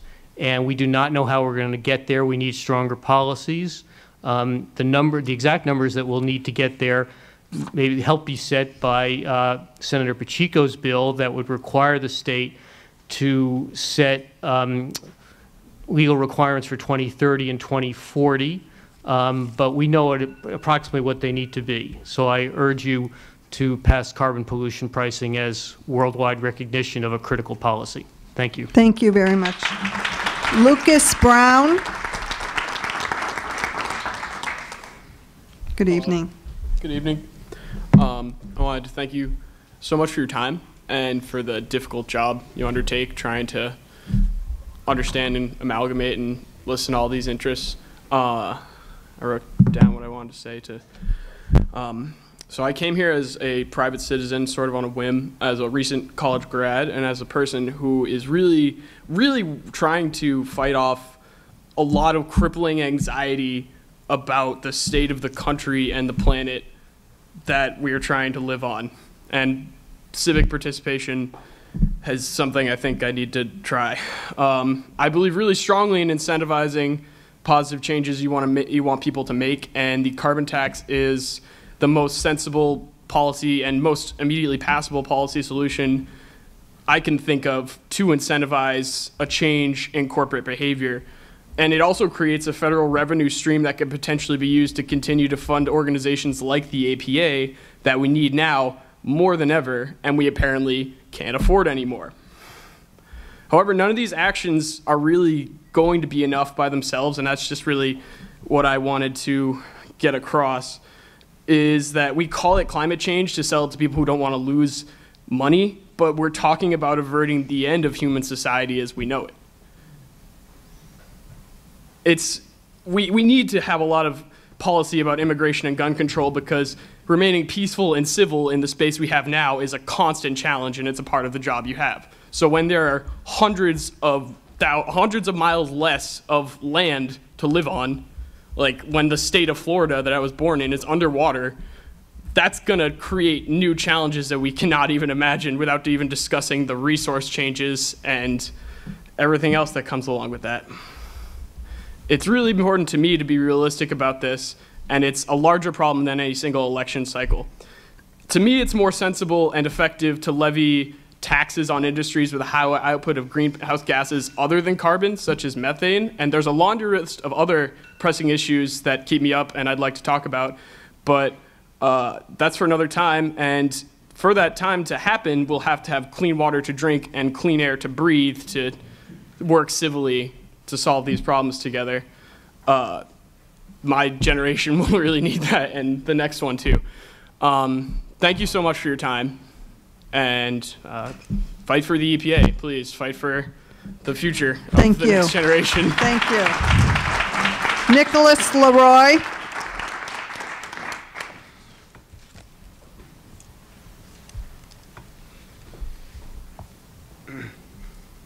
Good evening. Good evening. I would like to speak on behalf of myself this evening. Um, I'm a college student, and the big thing I want to say tonight is that if you can make government cool, I mean, I would love to see that. I mean, right now, the federal government is very negative. Like, the whole atmosphere of it is just very negative to me and a lot of other people. A lot of people just don't want to talk about issues just because of all the negativity surrounding everything and the media, and ugh, I don't want to get into it. So please, guys, just in your hearts, like, fight for not yourselves, not the guys who are paying you, like the big corporate interests. Please just fight for people like me. I've suffered through autism like my whole life, and uh, the state of Massachusetts is such a nice state in comparison to other states. It's like the the government is willing to help the people effectively, uh, like myself, through uh, student programs and uh, special education. I thank you guys for that. Continue that, and above all, strengthen it. Um, I would also like you, uh, uh, as my time is running down, uh, I would like you guys to um, yeah, make government cool again. Uh, please. I'm, I'm so nervous, guys. You're doing a great job. You are Thank doing you. a great job. Thank you. I haven't given up hope yet, and I hope you guys haven't either. If you guys have given up hope, then why are you here? I, I- mean, if I see you guys here, and I know that since you guys are here and listening, I am grateful that you are helping out people either on the left or the right. Just stay away from the divisive issues and try to have some uh, uh, sensibility, uh, commonality within all of us. Just please, I know I'm the last one, so um, yeah, do cool things like drive down the cost of education, please. Thank you. Thank you, Nicholas. Thank you very much. Thank you. Michelle Putko.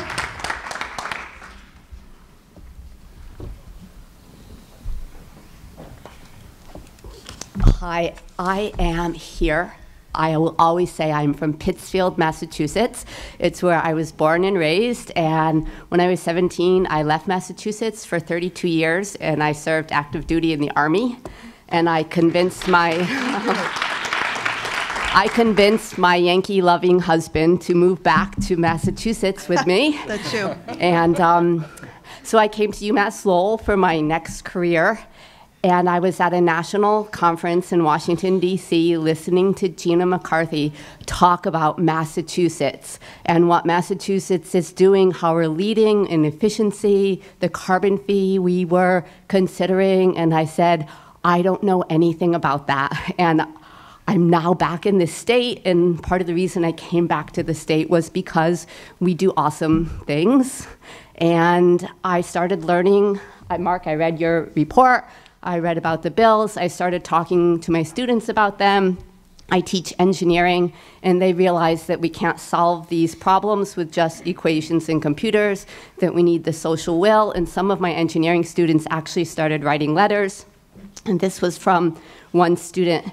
I heard about the Act to Combat Climate Change and did some research about it in order to get a better understanding. It is indeed a great initiative. I do feel the need to express my concern about the time proposed in order to make it happen. The amount of the fee should not have to be introduced during such a long time. Climate change is a problem that doesn't allow for much time to go by without consequences. The more time we take to do something about it, the more we allow things to get worse. Statistics do not lie. We cannot just take five to 10 years, then carry out gradual phase ins. And he goes on I am in favor of this initiative. However, I think it should be one step. I certainly hope to hear more about progress taking place in this matter. I think this letter is two years old now. I, I saved some of them. And now is the time to be a leader in our whole country, to be first. I don't think I'm going to hear the administrator of the EPA bragging about us, but we from Massachusetts are certainly going to brag about us, the people of Massachusetts. Thank you. Christopher Tribon.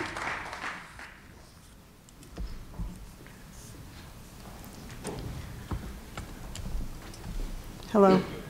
Hello, um, Presidents and Senators. So, um, I would have to say is, is that um, as a whole, we are not afraid, um, but we are pretty angry, I would say, as, as probably um, as a state. And so I wanted to bring three uh, pr prominent issues uh, to the front of it. And one, of, one was the, the support of the Sa uh, Safe Communities Act. And my reasoning behind this is uh, to, to, quote Elie Wiesel, a Holocaust survivor, is that no human being is illegal, and we, we should uh, um, stand, uh, stand by um, for, for, for the, the, fact of our, of our history, our moral his, history. Um, the second thing that I would like to address, which uh, hasn't been really addressed in the room, is, is criminal justice reform. I'm part of the Black Student Union um, on campus, and one of the things that we were, we actually had a meeting tonight about criminal justice reform and how once a convict is released from society and has, has paid his debt is, is that there's actually no way for him to advance in society and he just goes back to crime. So I'd like to see an act that would help uh, reform and get these people to actually instead be working productive citizens instead of just going back to crime until in, in the same kind of perpetuating uh, endless cycle. Uh, the next thing I would like to do is, is challenge you on two things is that people believe our government has lost accountability. And so I ask and I challenge you to be accountable um, when it comes to issues of health care, criminal justice reform, or any, any type of issue that needs to be addressed uh, in the community. Um, and the third statement I would like to make is, is more of just, you know, a warning, and that is is that if you do not support these issues like this, support the Safe Communities Act or healthcare reform or other things, and you stand in the way of that, I will remember you when I go to the ballot box.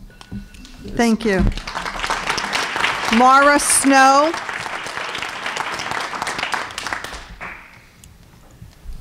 Thank you so much for being here. My name is Maura Snow. I'm a resident of Chelmsford since 1997. Four, my four sons all went to Chelmsford Public Schools, and three of the four graduated from various UMass institutions, and one's from UMass Lowell. My two older grandchildren are now students in the Lowell Public Schools, where they are part of the microcosm that will be America of the future. As white kids, they are a racial minority, and they are warmly welcomed and accepted by all of the friends in their school, even though their skin is a different color. Their friends have names like Vishwa, Sapani, and Ganesh. What a great group of kids they are in the Lowell Public Schools. But what an education they're getting. It's good. Lowell does the best it can with the money that it has. We've talked about income inequality. When my grandkids' parents were in school in Chelmsford, we looked down the road at Concord and said, hmm, not really fair that if you live in Concord, you have more educational opportunities than if you live in Chelmsford. Now I look at my grandchildren, they have even less op educational opportunities than what their parents had in Chelmsford simply because they've chosen to live in Lowell because they love the diversity. An excellent education should be the birthright of every child born in Massachusetts or who moves here. Please, please do what you can so my grandkids and their friends have the exact same opportunities as the kids in Concord. Thank you. Thank you. Jay Mason.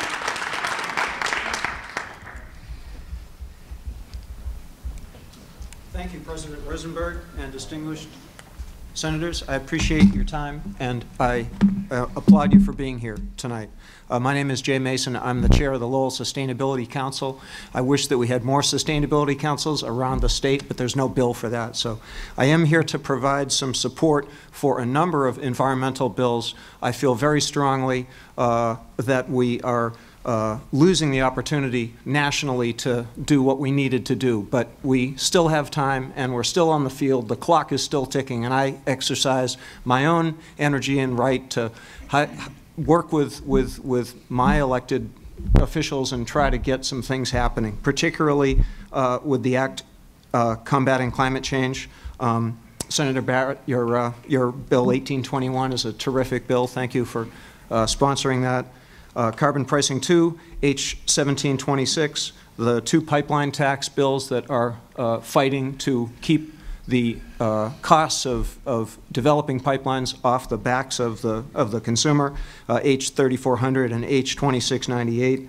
The RPS standard, uh, that uh, uh, Senator Pacheco, um, that's, that's your bill, thank you. Um, that uh, is an act relative to solar power and the green economy. That's a terrific idea. I think we need to be supporting these things so that we can move forward and make something happen while we, again, still have some time to do that. Uh, the gas leaks bill, uh, that was mentioned earlier tonight. The paint stewardship legislation, that was also mentioned. That, that saved uh, uh, $12 million, uh, according to the estimates from the um, uh, in, impartial organization that put together a study on that. So I think in general, we need more sustainability uh, efforts going across nationally. And the only way we're going to get that to happen is if we work in our own backyard and get some things happening here. So I urge you to work with us. We will continue to work with you. I'm also a member of the uh, environmental group 350MA of Greater Lowell. We recently met with Senator Tsongas. We hope to continue to meet with all of you and work together. We've got some huge challenges and struggles, but I know we can accomplish it with your help. Thank you. Thank you. Tom Mannion.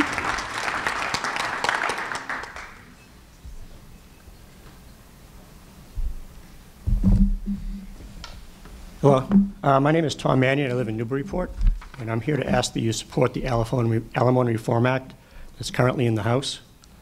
Uh, previously, the Chancellor spoke about challenges, hopes, and dreams. And like all of you, uh, I have challenges in my life. Some are trivial, some are devastating. Um, an example, Article 2 from my divorce agreement. Thomas Mannion shall pay my ex-wife the sum of $500 per week as alimony for as long as they both remain alive. Um, so this is a financial death sentence to me. So she said challenges, hopes, and dreams. I, there were some hopes that I had in the Alimony Reform Act because there was a retirement clause which would allow me to stop paying once I retired. Um, the first time that went through the legislature, it passed unanimously in the House and Senate. And then the SJC overrode the act's intent. It went into the House last year, it passed unanimously, and it never went to the Senate for a vote. Um, as far as dreams, um, I would hope that someday I don't have to pay $500 per week for the rest of my life. Um, and so I'm here to ask that you support the alimony reform bill that's currently in the House. Thank you. Thank you. Liz, Liz Hartman or Harriman? Which is it? I'm sorry. Harriman. Harriman. Great. Thank you for staying. I'm sure you're all exhausted, and so I'll be. I'm real- sure you all are too. I'll be real brief. I just want to thank the Senate for always being supportive of environmental issues and public health and occupational health. Uh, you're you're wonderful. Um, the state uh, certainly has some uh, backfilling to do in the next four years as, as our crippled EPA and other organizations, as others have said, uh, you know, aren't able to do their job. Um, instead of what I was going to say, I just want, I was struck by the earlier younger speakers, and I want to encourage you to make sure that we're supporting organ, uh, agencies like the Department of Environmental Protection to a level that they can hire young professionals to build that capacity so that Massachusetts continues to be a leader in all those. As the rest of a certain age group retires, we really don't have enough budgets in those agencies to uh, build new capacity. So uh, I think there's a, a good candidate right out there that just spoke to you. Thanks. Thank you very much. Laura Ortiz. Laura Ortiz.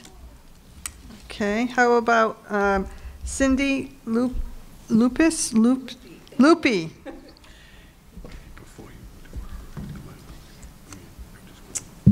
Hello, everyone. Uh, my name is Cindy Luppi. I'm the New England Director for Clean Water Action, and I can't tell you um, how proud I am to be from Massachusetts tonight. Um, I'm proud of the, the democracy uh, on display. I'm proud of your leadership. Um, I'm proud of the, the really um, inspiring discussion that we're having tonight.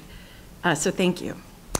Um, Clean Water Action is a multi-issue environmental group, um, and I want to start off by thanking you all, um, and Senate uh, President, President Rosenberg, thank you so much for uh, supporting the passage through the Senate unanimously of the uh, toxic flame retardant bill that, that uh, passed last session that would protect firefighters and children uh, from, from, from dangerous chemicals that we know we can uh, replace with safer alternatives.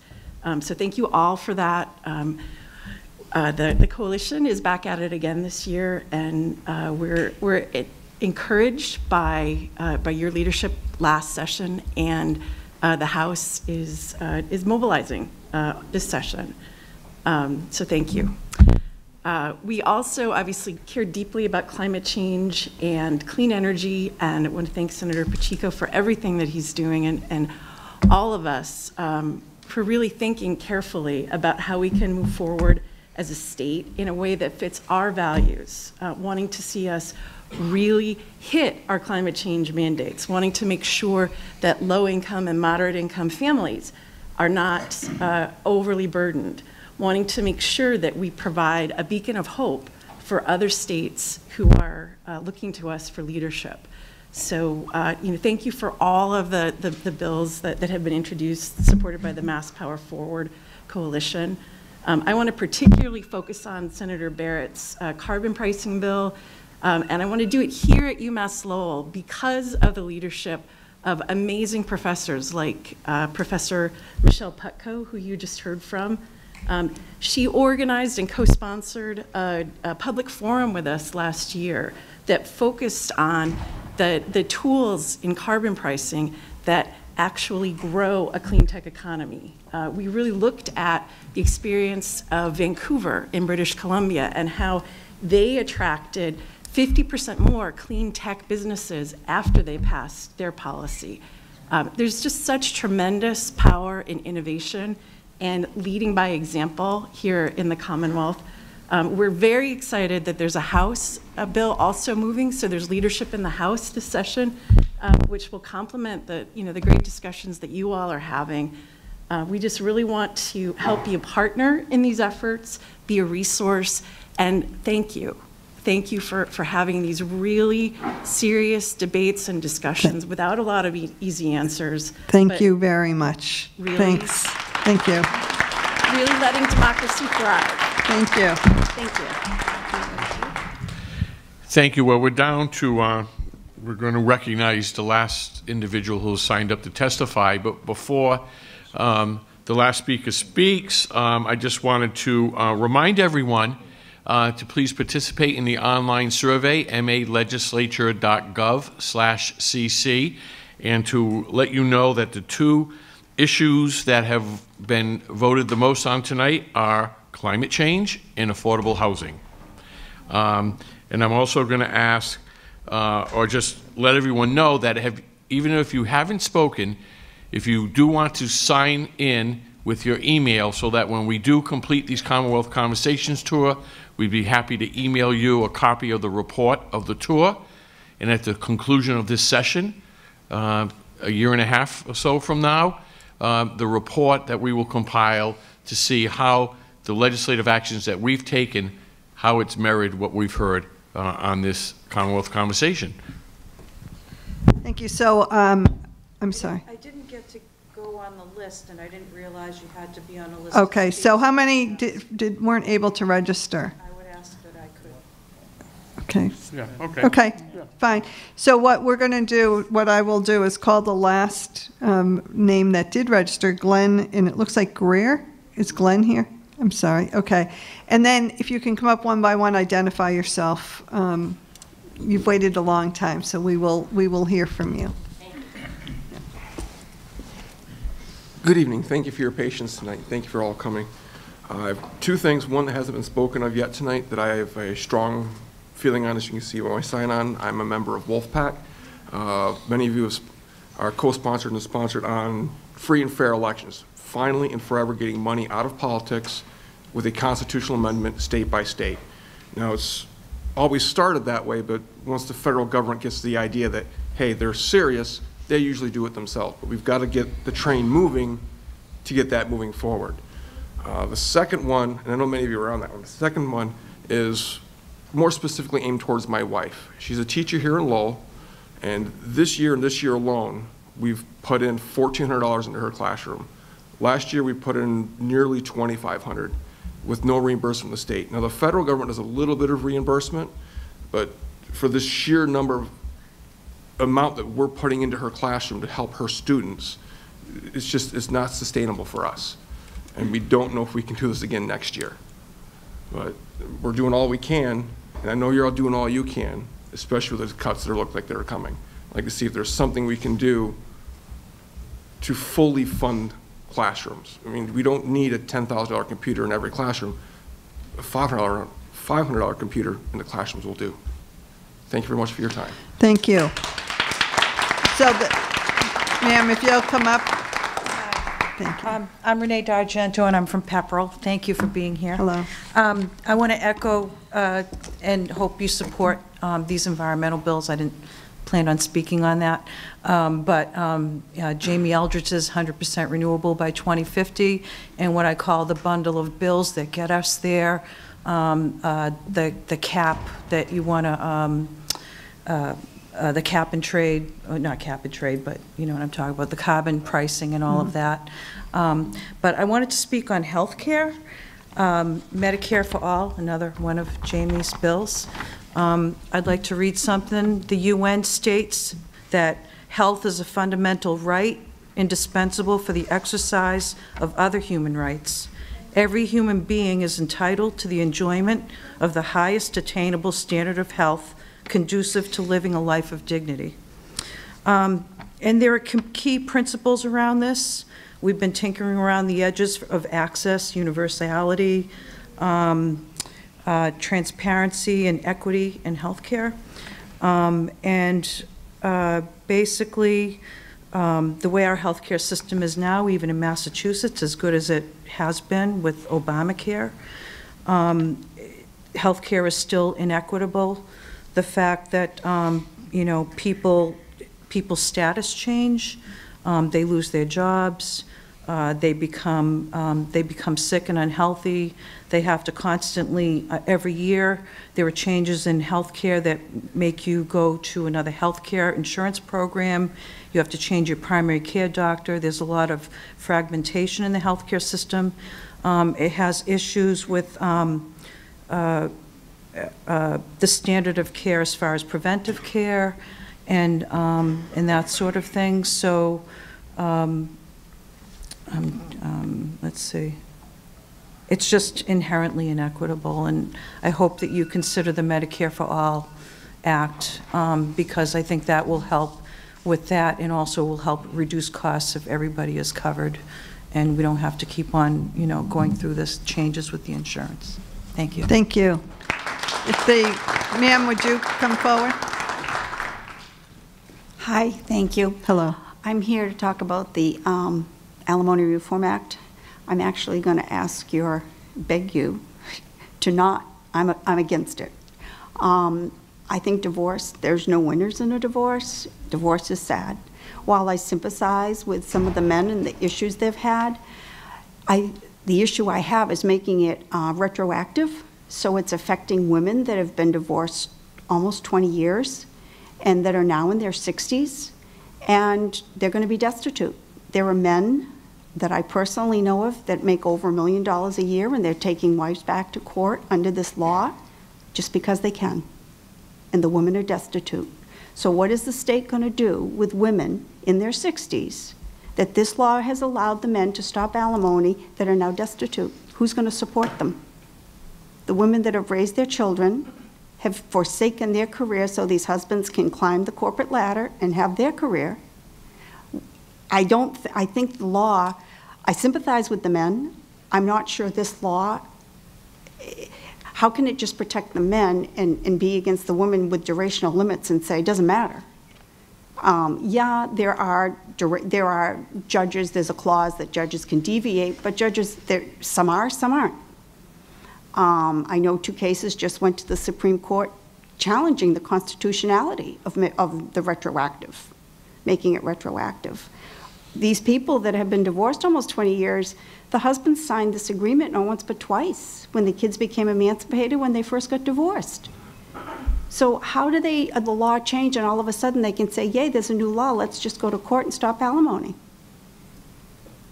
I'm not sure it's constitutional for these poor women that are going to be on the streets. And I feel for the men. I'm, I'm not sure that maybe it can't be revised to somehow protect those men that can't afford, rightfully can't afford alimony when they're retired. But I don't think it should be a blanket durational limit that, that men that can well afford it can just get out of it and leave people destitute. I, I think there should be a compromise somewhere. Thank you. Thank you very much. Um, I'll get there. Uh, Sir, if you could come forward, and I see there's someone back there. We'll call you next. I'll call you by your name, but I don't know it, so forgive my pointing. Uh, hello, everyone. Hi. Uh, and thank you for giving me the opportunity to speak here. English is my fourth language, so excuse my words if I'm not good at that. My name is Mohammad Arif, and uh, I came from uh, Pakistan. I'm a grad student in chemical engineering. Uh, here is my first semester, it's my third month here. Um, and uh, actually, it was my dream. I, I dreamed 12 years for this, and I planned to be in a great institutes and uh, done my graduation from uh, some renowned institutes.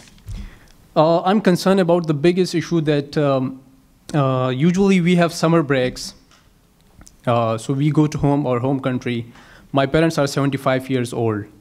So if something unusual, God forbid, happens, or I just want to meet with them, so who will protect me that when I arrive again, the, and the US official will not detain me in an airport?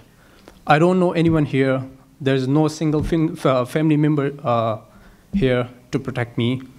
I don't know this issue is concerned with you or not, but I'm really uh, feeling fear. I'm kind of afraid that after a semester, two semester, if I go to country, I have spent a lot of time, a lot of money, and when I came back, who are go, uh, going to support me? And who, who is going to protect me for that? That uh, U.S. official will not detain me, as uh, the great Muhammad Ali son is even uh, det- uh, detained on an airport. Uh, and despite all the fact, I'm very thankful to the Lowell people. Every person is very welcoming. I love your uh, culture, your society. I'm getting in, and I'm loving it. So thank you. Thank you. Thank you. Ma'am?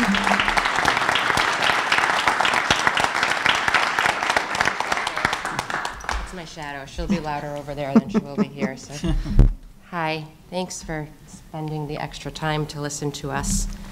Um, before I, I start with, with my whole thing, I just wanted to say uh, the the number one epidemic that's happening in our state is the heroin crisis and the overdoses that are happening. I can support everybody's thoughts on global climate change and, and the things that will happen in the foreseeable future or the distant future, but this is happening right now.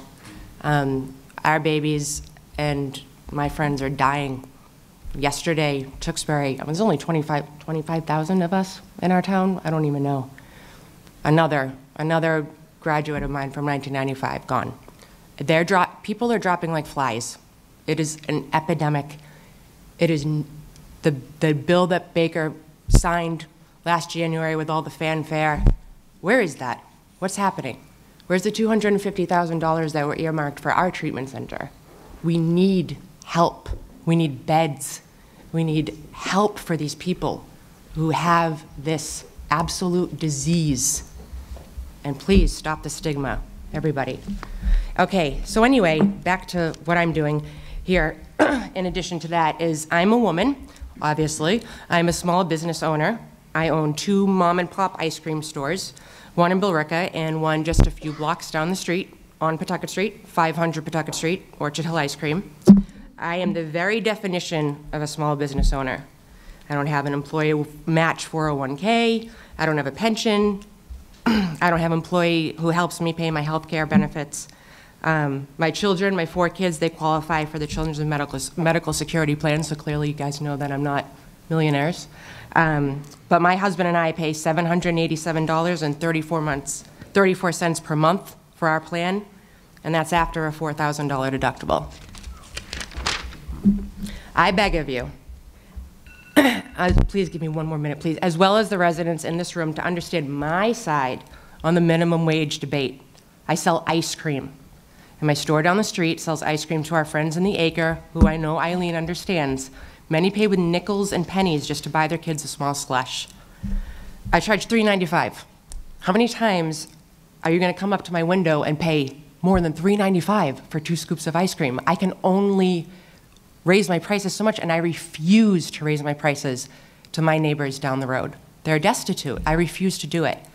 So my kids' sports, my kids' activities, and the extras that we want to do, like going to Disney World this year, got cut. I can't do it because my salary, my husband's salary shrink. I support minimum wage increase. I do. I just support it differently. And I don't understand how difficult it would be to have two separate minimum wages in the state. Those who file for, as head of household or claim others as dependent on their taxes versus those who I hire, primarily 15, 16, and 17 year old kids who maybe pay for their iPhone bill. And those social security numbers who get claimed as dependents on somebody else's taxes. I support those moms, the 42 year old mom with the kids, the single moms. I get it. I get that. But you cannot be fight for 15 and also be a proponent of small businesses. It's impossible to do that because as a small business owner, you're killing us. You're not killing the corporations that you want to hurt. They don't care. They'll go automated. You can see it with McDonald's and their kiosks. They will adjust. I will close. My doors have been open for its 20th season in Billerica. And although Kevin Donnelly's not here, I'm sure he can attest that there's not many businesses left in Billerica that can say that they've opened their doors for 20 years in a row. And Eileen, I am open in my ninth season down the street in the acre. Doesn't happen. No, thank and you you know my mom, Karen, who's been in business I do know her very for well. decades. Yeah. I'm begging you guys to consider. It's as simple as social security numbers go in, dependent, not dependent, bam, two separate minimum wages. Thank you. That's what I asked. Thank you for. very much. Thank you. And we had someone down back who had their hand raised. And I believe that's the, oh, we have two, two more, okay. If you could come forward. Yes, I'm sorry, the, the pad was already in, in here. That's okay. Hi, I'm Karen and Cirillo, and I'm uh, I'm from Lowell, and I want to thank you all for tonight, and I greatly appreciate meeting with you. Um, Massachusetts was rated number one state in the United States, so hooray us. We're doing a fantastic job, and it's thanks to everyone in the state. Um, I also want to say that we're very progressive, we're very, um, we're very artistic, and we're very, um, we innovate. And I just wanted to say that if you could continue to supporting the arts, because I think that they're so important. They're so very important because arts, art goes along with science, just like music goes along with math. I mean, they're all intertwined, and it's so important for our children to be able to have these programs. And that's all I wanted to say. Thank you very Thank much. Thank you so much. And ma'am, down back, if you'll come forward. And I believe this is our last speaker of the night. Did I miss anyone? Oh, one more over here. Okay. And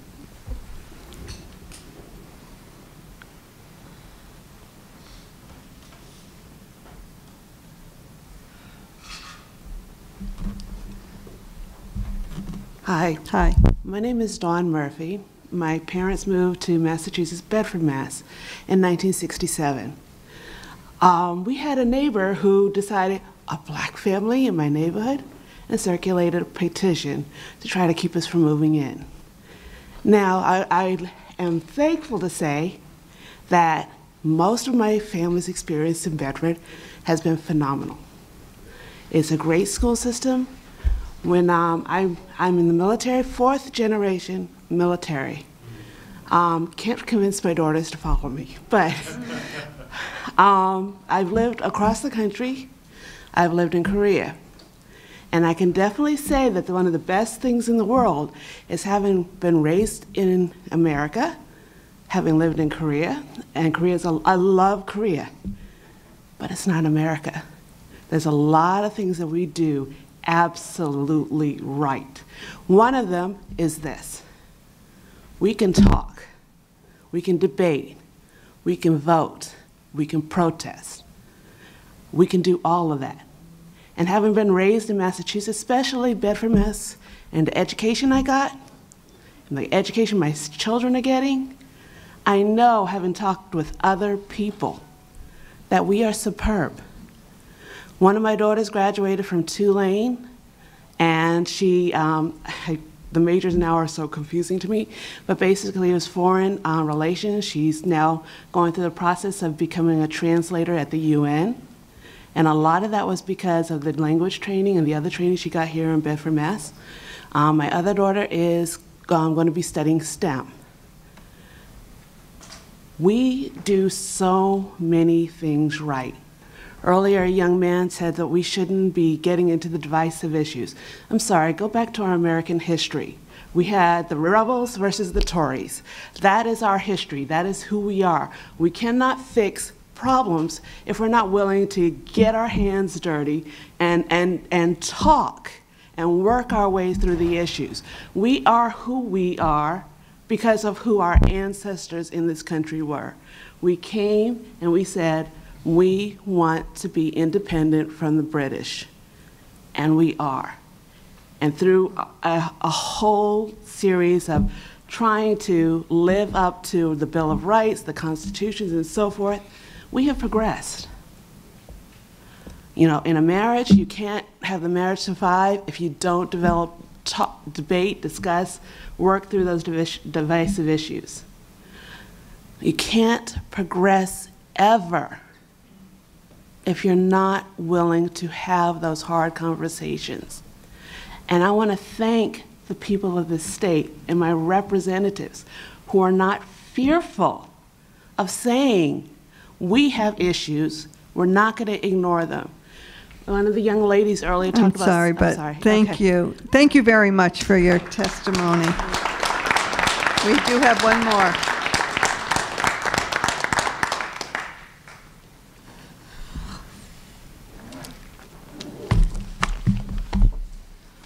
Thank you so much for listening and staying. I appreciate the opportunity.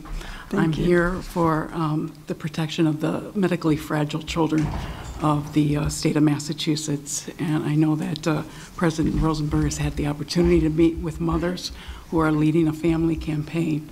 Um, their three primary issues are that Mass Health has uh, medically necessary approved hours of care that is needed, and we as providers are unable to fulfill 24% of those hours, which means that 47 of the patients have less than fully coverage uh, nursing care. Um, it takes 19 weeks for a provider to find enough nurses to fill these shifts. And that number is, uh, had, has come about in the last year and a half.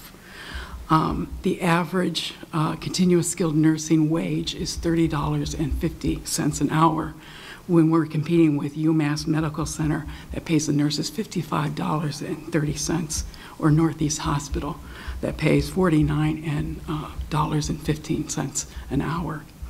So access to highly skilled nursing is, uh, we're not able to compete. Right now, um, the home care industry can uh, attract one in every four nurse.